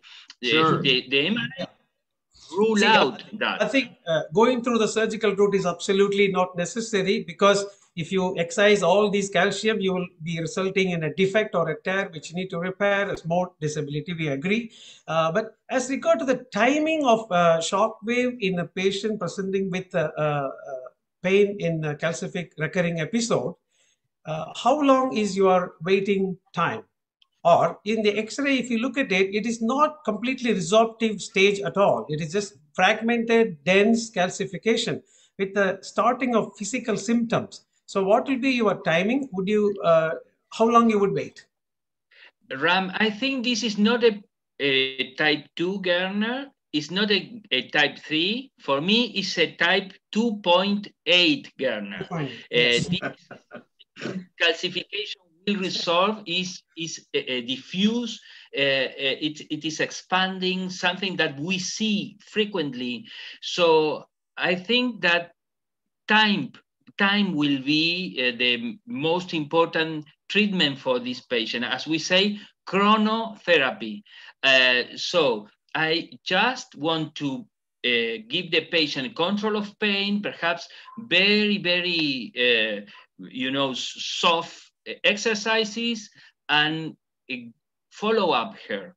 Okay. And if so, you take x-ray in one month, you will be surprised that most of the calcification would have disappeared.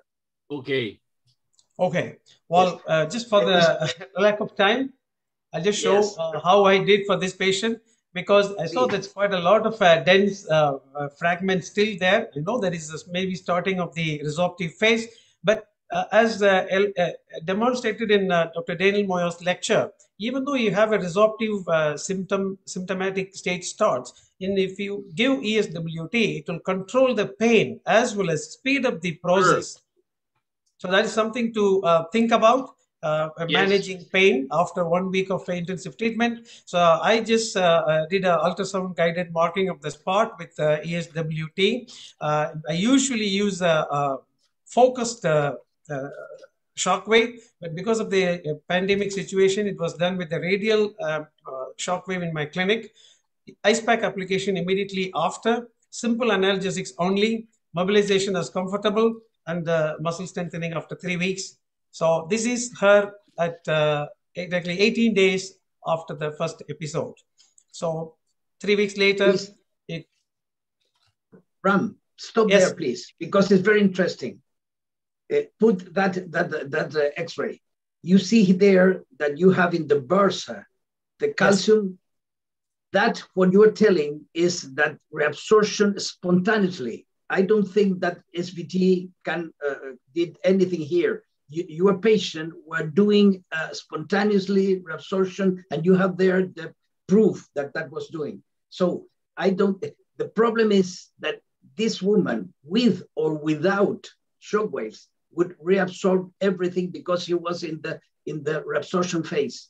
And very, that that uh, X-ray is very interesting. Excuse me that I uh, apologize that I uh, ask you this, but yes, this is a spontaneous spontaneous reabsorption. Uh, Ram, can, can, I would like to say something. yes, please. Yeah. So as a shoulder surgeon, there is something very interesting in this case, and I'm going to mention the fact, and I'm going to do some inferences. If you see the pre the uh, the first X X-ray, the humeroacromial space was enlarged, which is something that resembles rotator cuff suffering. And now with this current X-ray, the humeroacromial space is normal. So that gives me enough space from a physiopathological point of view to make the inference that that posterior superior rotator cuff was suffering somehow. Okay, and now it's better. So from It's a better. physiopathological point of view, if the diagnosis is a calcific tendonitis, it was having a mechanical reflex on the posterior superior cuff, which is resolved now. This is interesting, and I think that this is very real. Dr. Daniel, do you agree with my, my inferences that I just have said? Yes, I completely agree, and I think this is a very nice case uh, because show us a, a, a kind of border situation in Sure. which uh, no one would uh, criticize um, Ram for doing the, Sure. the the application because it also had a kind of, as we see frequently, analgesic. Um, you know, analgesic function and the, help the patient. But uh, we must also state that this was a resorption phase. Uh, and we can see how the things can change that dramatically uh, Sure. if we wait for some time. But uh, you should, uh, you should. I think the key message is also you should certainly avoid jumping to do some invasive procedure on seeing that presentation in the first phase. Having somebody seeing with uh, six months calcific tendonitis coming with symptoms, acute pain. Sometimes some surgeons jump to do interventional uh, intervention or uh, unnecessary arthroscopic intervention Yes. then you could wait uh, it let it settle down and then you can plan the your treatment or of course uh, shockwave as an adjuvant therapy as well to speed up the process of resolution uh, second is to get good pain control because this lady uh, had complete disappearance of pain with the shockwave therapy and required only paracetamol as the analgesic. And it also allowed her to do with the rehab. In three weeks she could regain full movement including rotation. You know, Um, only- uh, sorry, Excuse me, Daniel. images, yes, I- sorry, i- images can give you a lot of information and images are showing me that perhaps uh, I feel that Germany is going to play soccer soon. Isn't that right, Karsten? So They I- I already think- played 10 minutes. That's why I'm Okay. already, you know. You, and it's you the see Paramount game. images, images And I have Karsten's guests, you know, that's why. So we must consider images, and I think we should free our friends uh, to watch the, the, the game, Leonardo. I think we are on. Uh, uh, Dr. Park, what, want to say something? Yeah, um, I actually completely agree with uh, Daniel's opinion before. And uh, let me tell my opinion for Dr. Ram. You know, in this case, um, the first priority is to remove the pain, right? But even if after removing the pain, the range of motion remains still, my strategy is to make manipulation under brachial plexus block.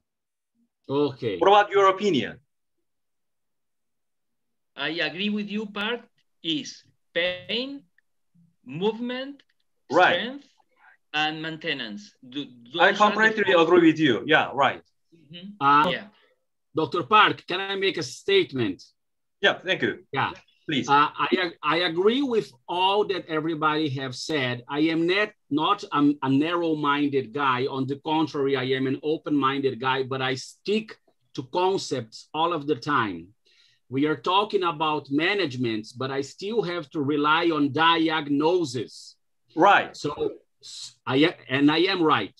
So maybe if there is stiffness after the, the radiographical disappearance of the calcification, that would be a secondary frozen shoulder. Okay, Mhm. no doubt about it. And having said that, what I do and what Dr. Daniel does, because we discussed this in a previous webinar in, in September, is many times suprascapular nerve blocks, and they have been extremely successful to me. So we always have to think, I, I'm sorry I am being harsh, but I, I have reason to support my straightness. In, uh, besides all of the managements, we have always to focus or in diagnose on diagnosis, on the singular, on the plural, because I'm sorry, no proper diagnosis, no proper management. I am Right. I am absolutely straight to, to this concept, and I dare to say that I am not incorrect in all of this straightness. Right. Excuse me, uh, dear conferences, but I think that in honor of time, we have to make only a couple of, questions to the other conferences. Uh, thank you, Ram, for this case. That is very, very interesting. I think every case and every discussion here may uh, be a future webinar. I hope that that could happen. The important thing is that everybody of us know that we can start with uh, with treatments without uh, without make any invasion in the body. We have to have ex- an excellent uh, diagnosis in all of the cases. If not, we, we can continue. And Sure. I think that the, uh, the order of these treatments and of this uh, uh, form of seeing the patients is very important for every people that is starting. So there are some questions that in, that are in the chat that have been done in between us, but there are some very interesting questions. For example, for uh, Karsten, uh, you have tell us about tendocinovitis and about Dupuytren, but there is some, in my experience, also very difficult tendocinovitis that is de Quervain that have less good uh, less good uh, result when we use uh, physical energies in the place. What is your experience with de Quervain? Uh, is is necessary to do this first, or we have to uh, do surgery when we uh, have these cases? In actually, uh, in 2006 already, 15 years ago, I made a paper for the ESCA journal where we did as, um, power Doppler ultrasound on the de Quervain's and could show the sa very same neovessels, like in Achilles tendinopathy, right at the origin of the first extensor channel, I would say, you know? So it is kind of entrapment problem plus inflammation. And at that point of time, I did uh, sclerosing injections and shock waves and it disappeared. Um, if it comes to shock waves focused and radial wise in terms of energy, this is if it's it is very, very painful. And if you, for example, do radial pressure wave therapy with two bars with a steel applicator, this is not possible because it's too painful. So I am using the silicone tip from Storz. It's a uh, it's a silicone, uh, let's say, device you mount on your radial device. And I adjust my pressures like Park in Seoul does at 0.3 or 0.5 bar, very, very low. This is not possible with every machine, I know, but very, very low and with the silicon. And then I go 2000 shots over the, uh, over the um, extensor tendon, plus uh, uh, do additional focus with very low energy again. 0.03, 0.05. So you have to somehow adjust your shock waves to this very painful location. That's the same holds true for trigger fingers. However, the de Quervain's is even more painful, maybe the most painful spot you can imagine. So that's how, how I approach it. So same 10 uh, shock waves. By now I do e the magnetic uh, field.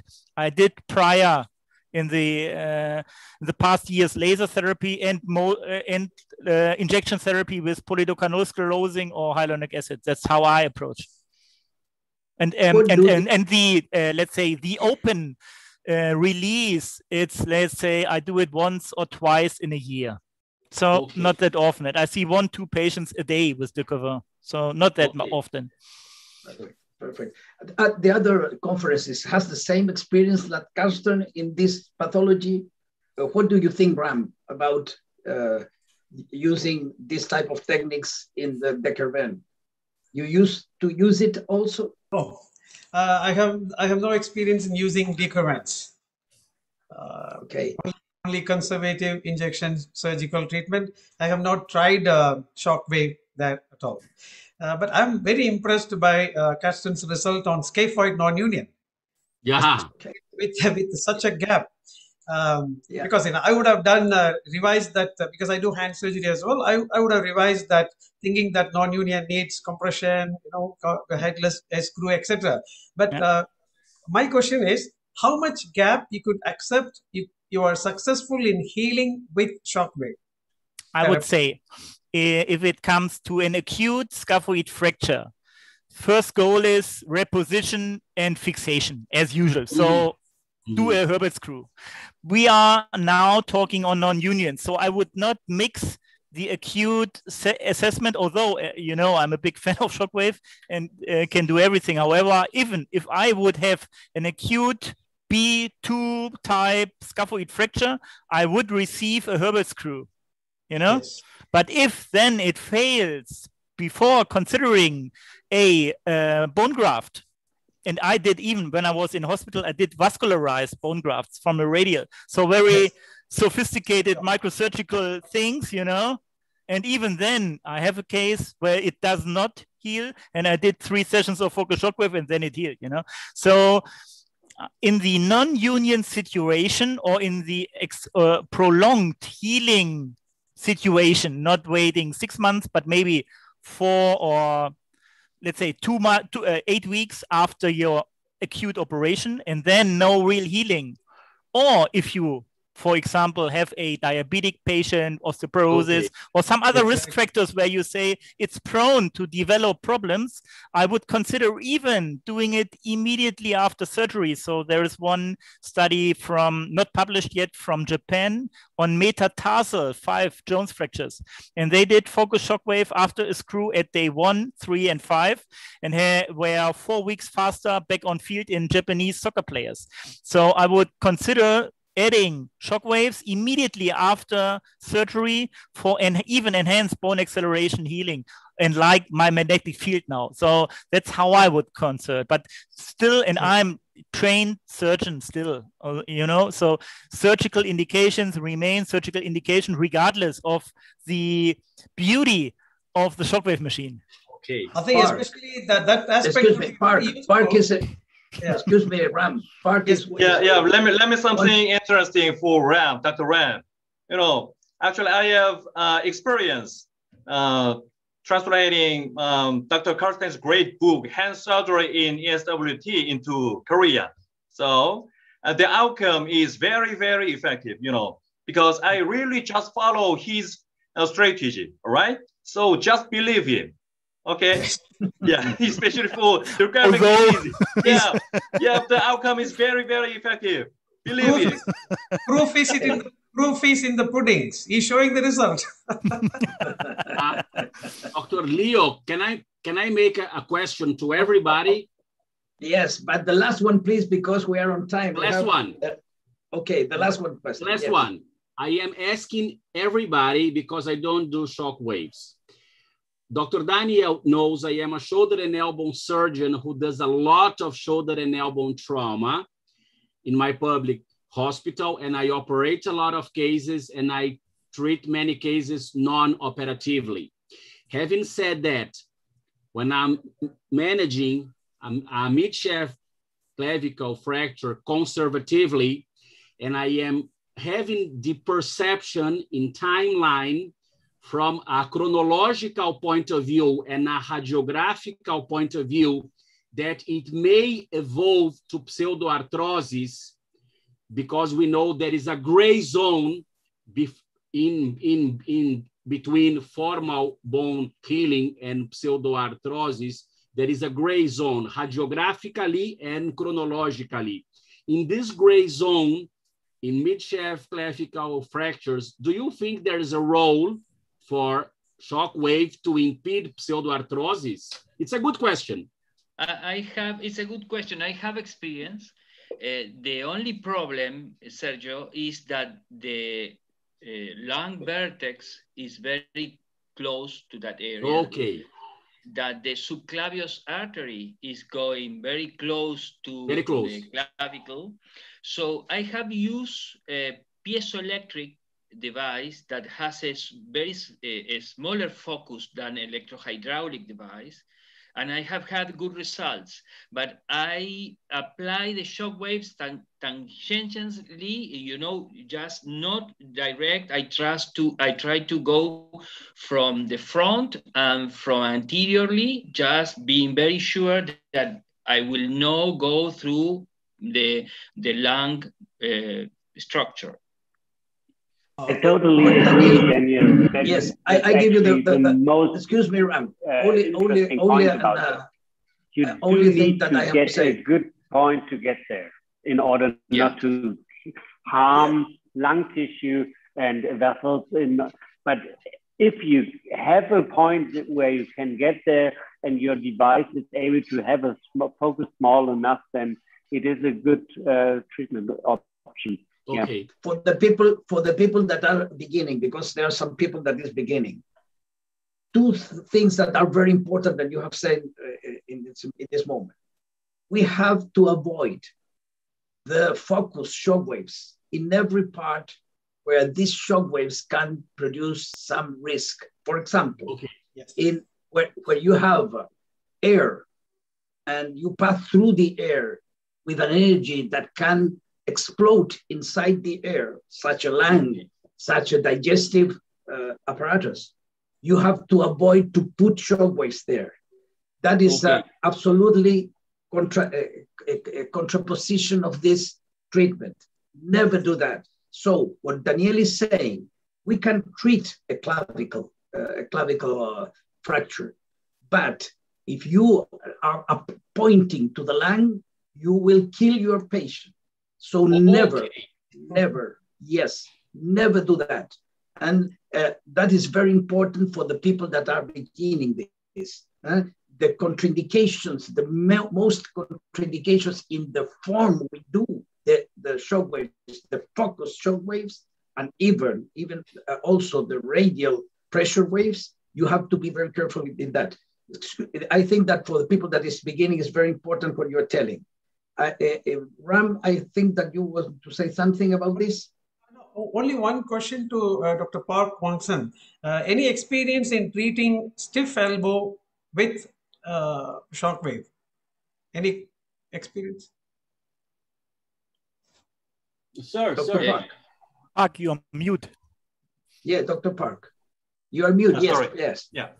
Um, uh, in case of frozen shoulder, my strategy is um, the first thing is injection. All right.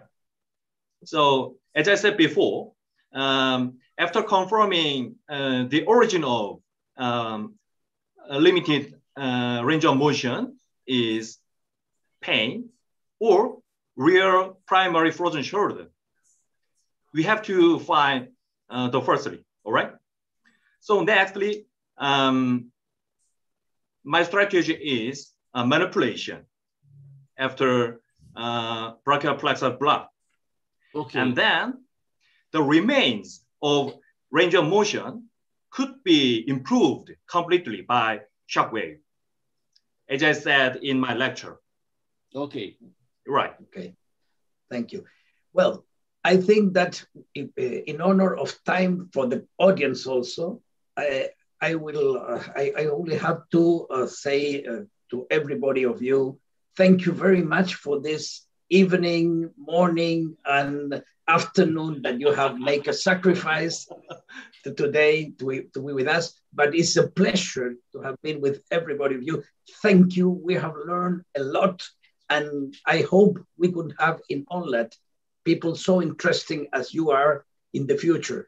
Thank you, Dr. Moya, for sending, lending us this uh, auto web channel also, and for your presence. And say bye-bye to everybody of you, and invite to the people that are audience today to the next uh, webinar that will be in the in the lower limb uh, with shock waves, the lower limb treatment, and uh, have a nice weekend. And thank you very much, and bye bye to everybody. Thank you very much. Thank bye you. bye. Thank you, sir. Thank you. I have to go Thank you. sleeping. Bye-bye. Good night. Oh. Good night. Good night. Good night. night, Park. Uh, you're great. You are a hero. Thank you. Okay. Thank you to Ortho TV. And I think you. that if Dr. Ashok agrees, he's the boss here. Uh, I Yeah. think this is a very nice team, and we we should have a second round during the year uh, because there are many questions, many topics, and I think it would be great to be all together again. Absolutely. Thank you very much. Bye bye. Thank you, also Bye-bye. TV. Thank you. Bye bye. Thanks, Arthur. Dr. Bye. TV. Bye. Well done, Daniel. Good luck. You can stop the streaming, Jay.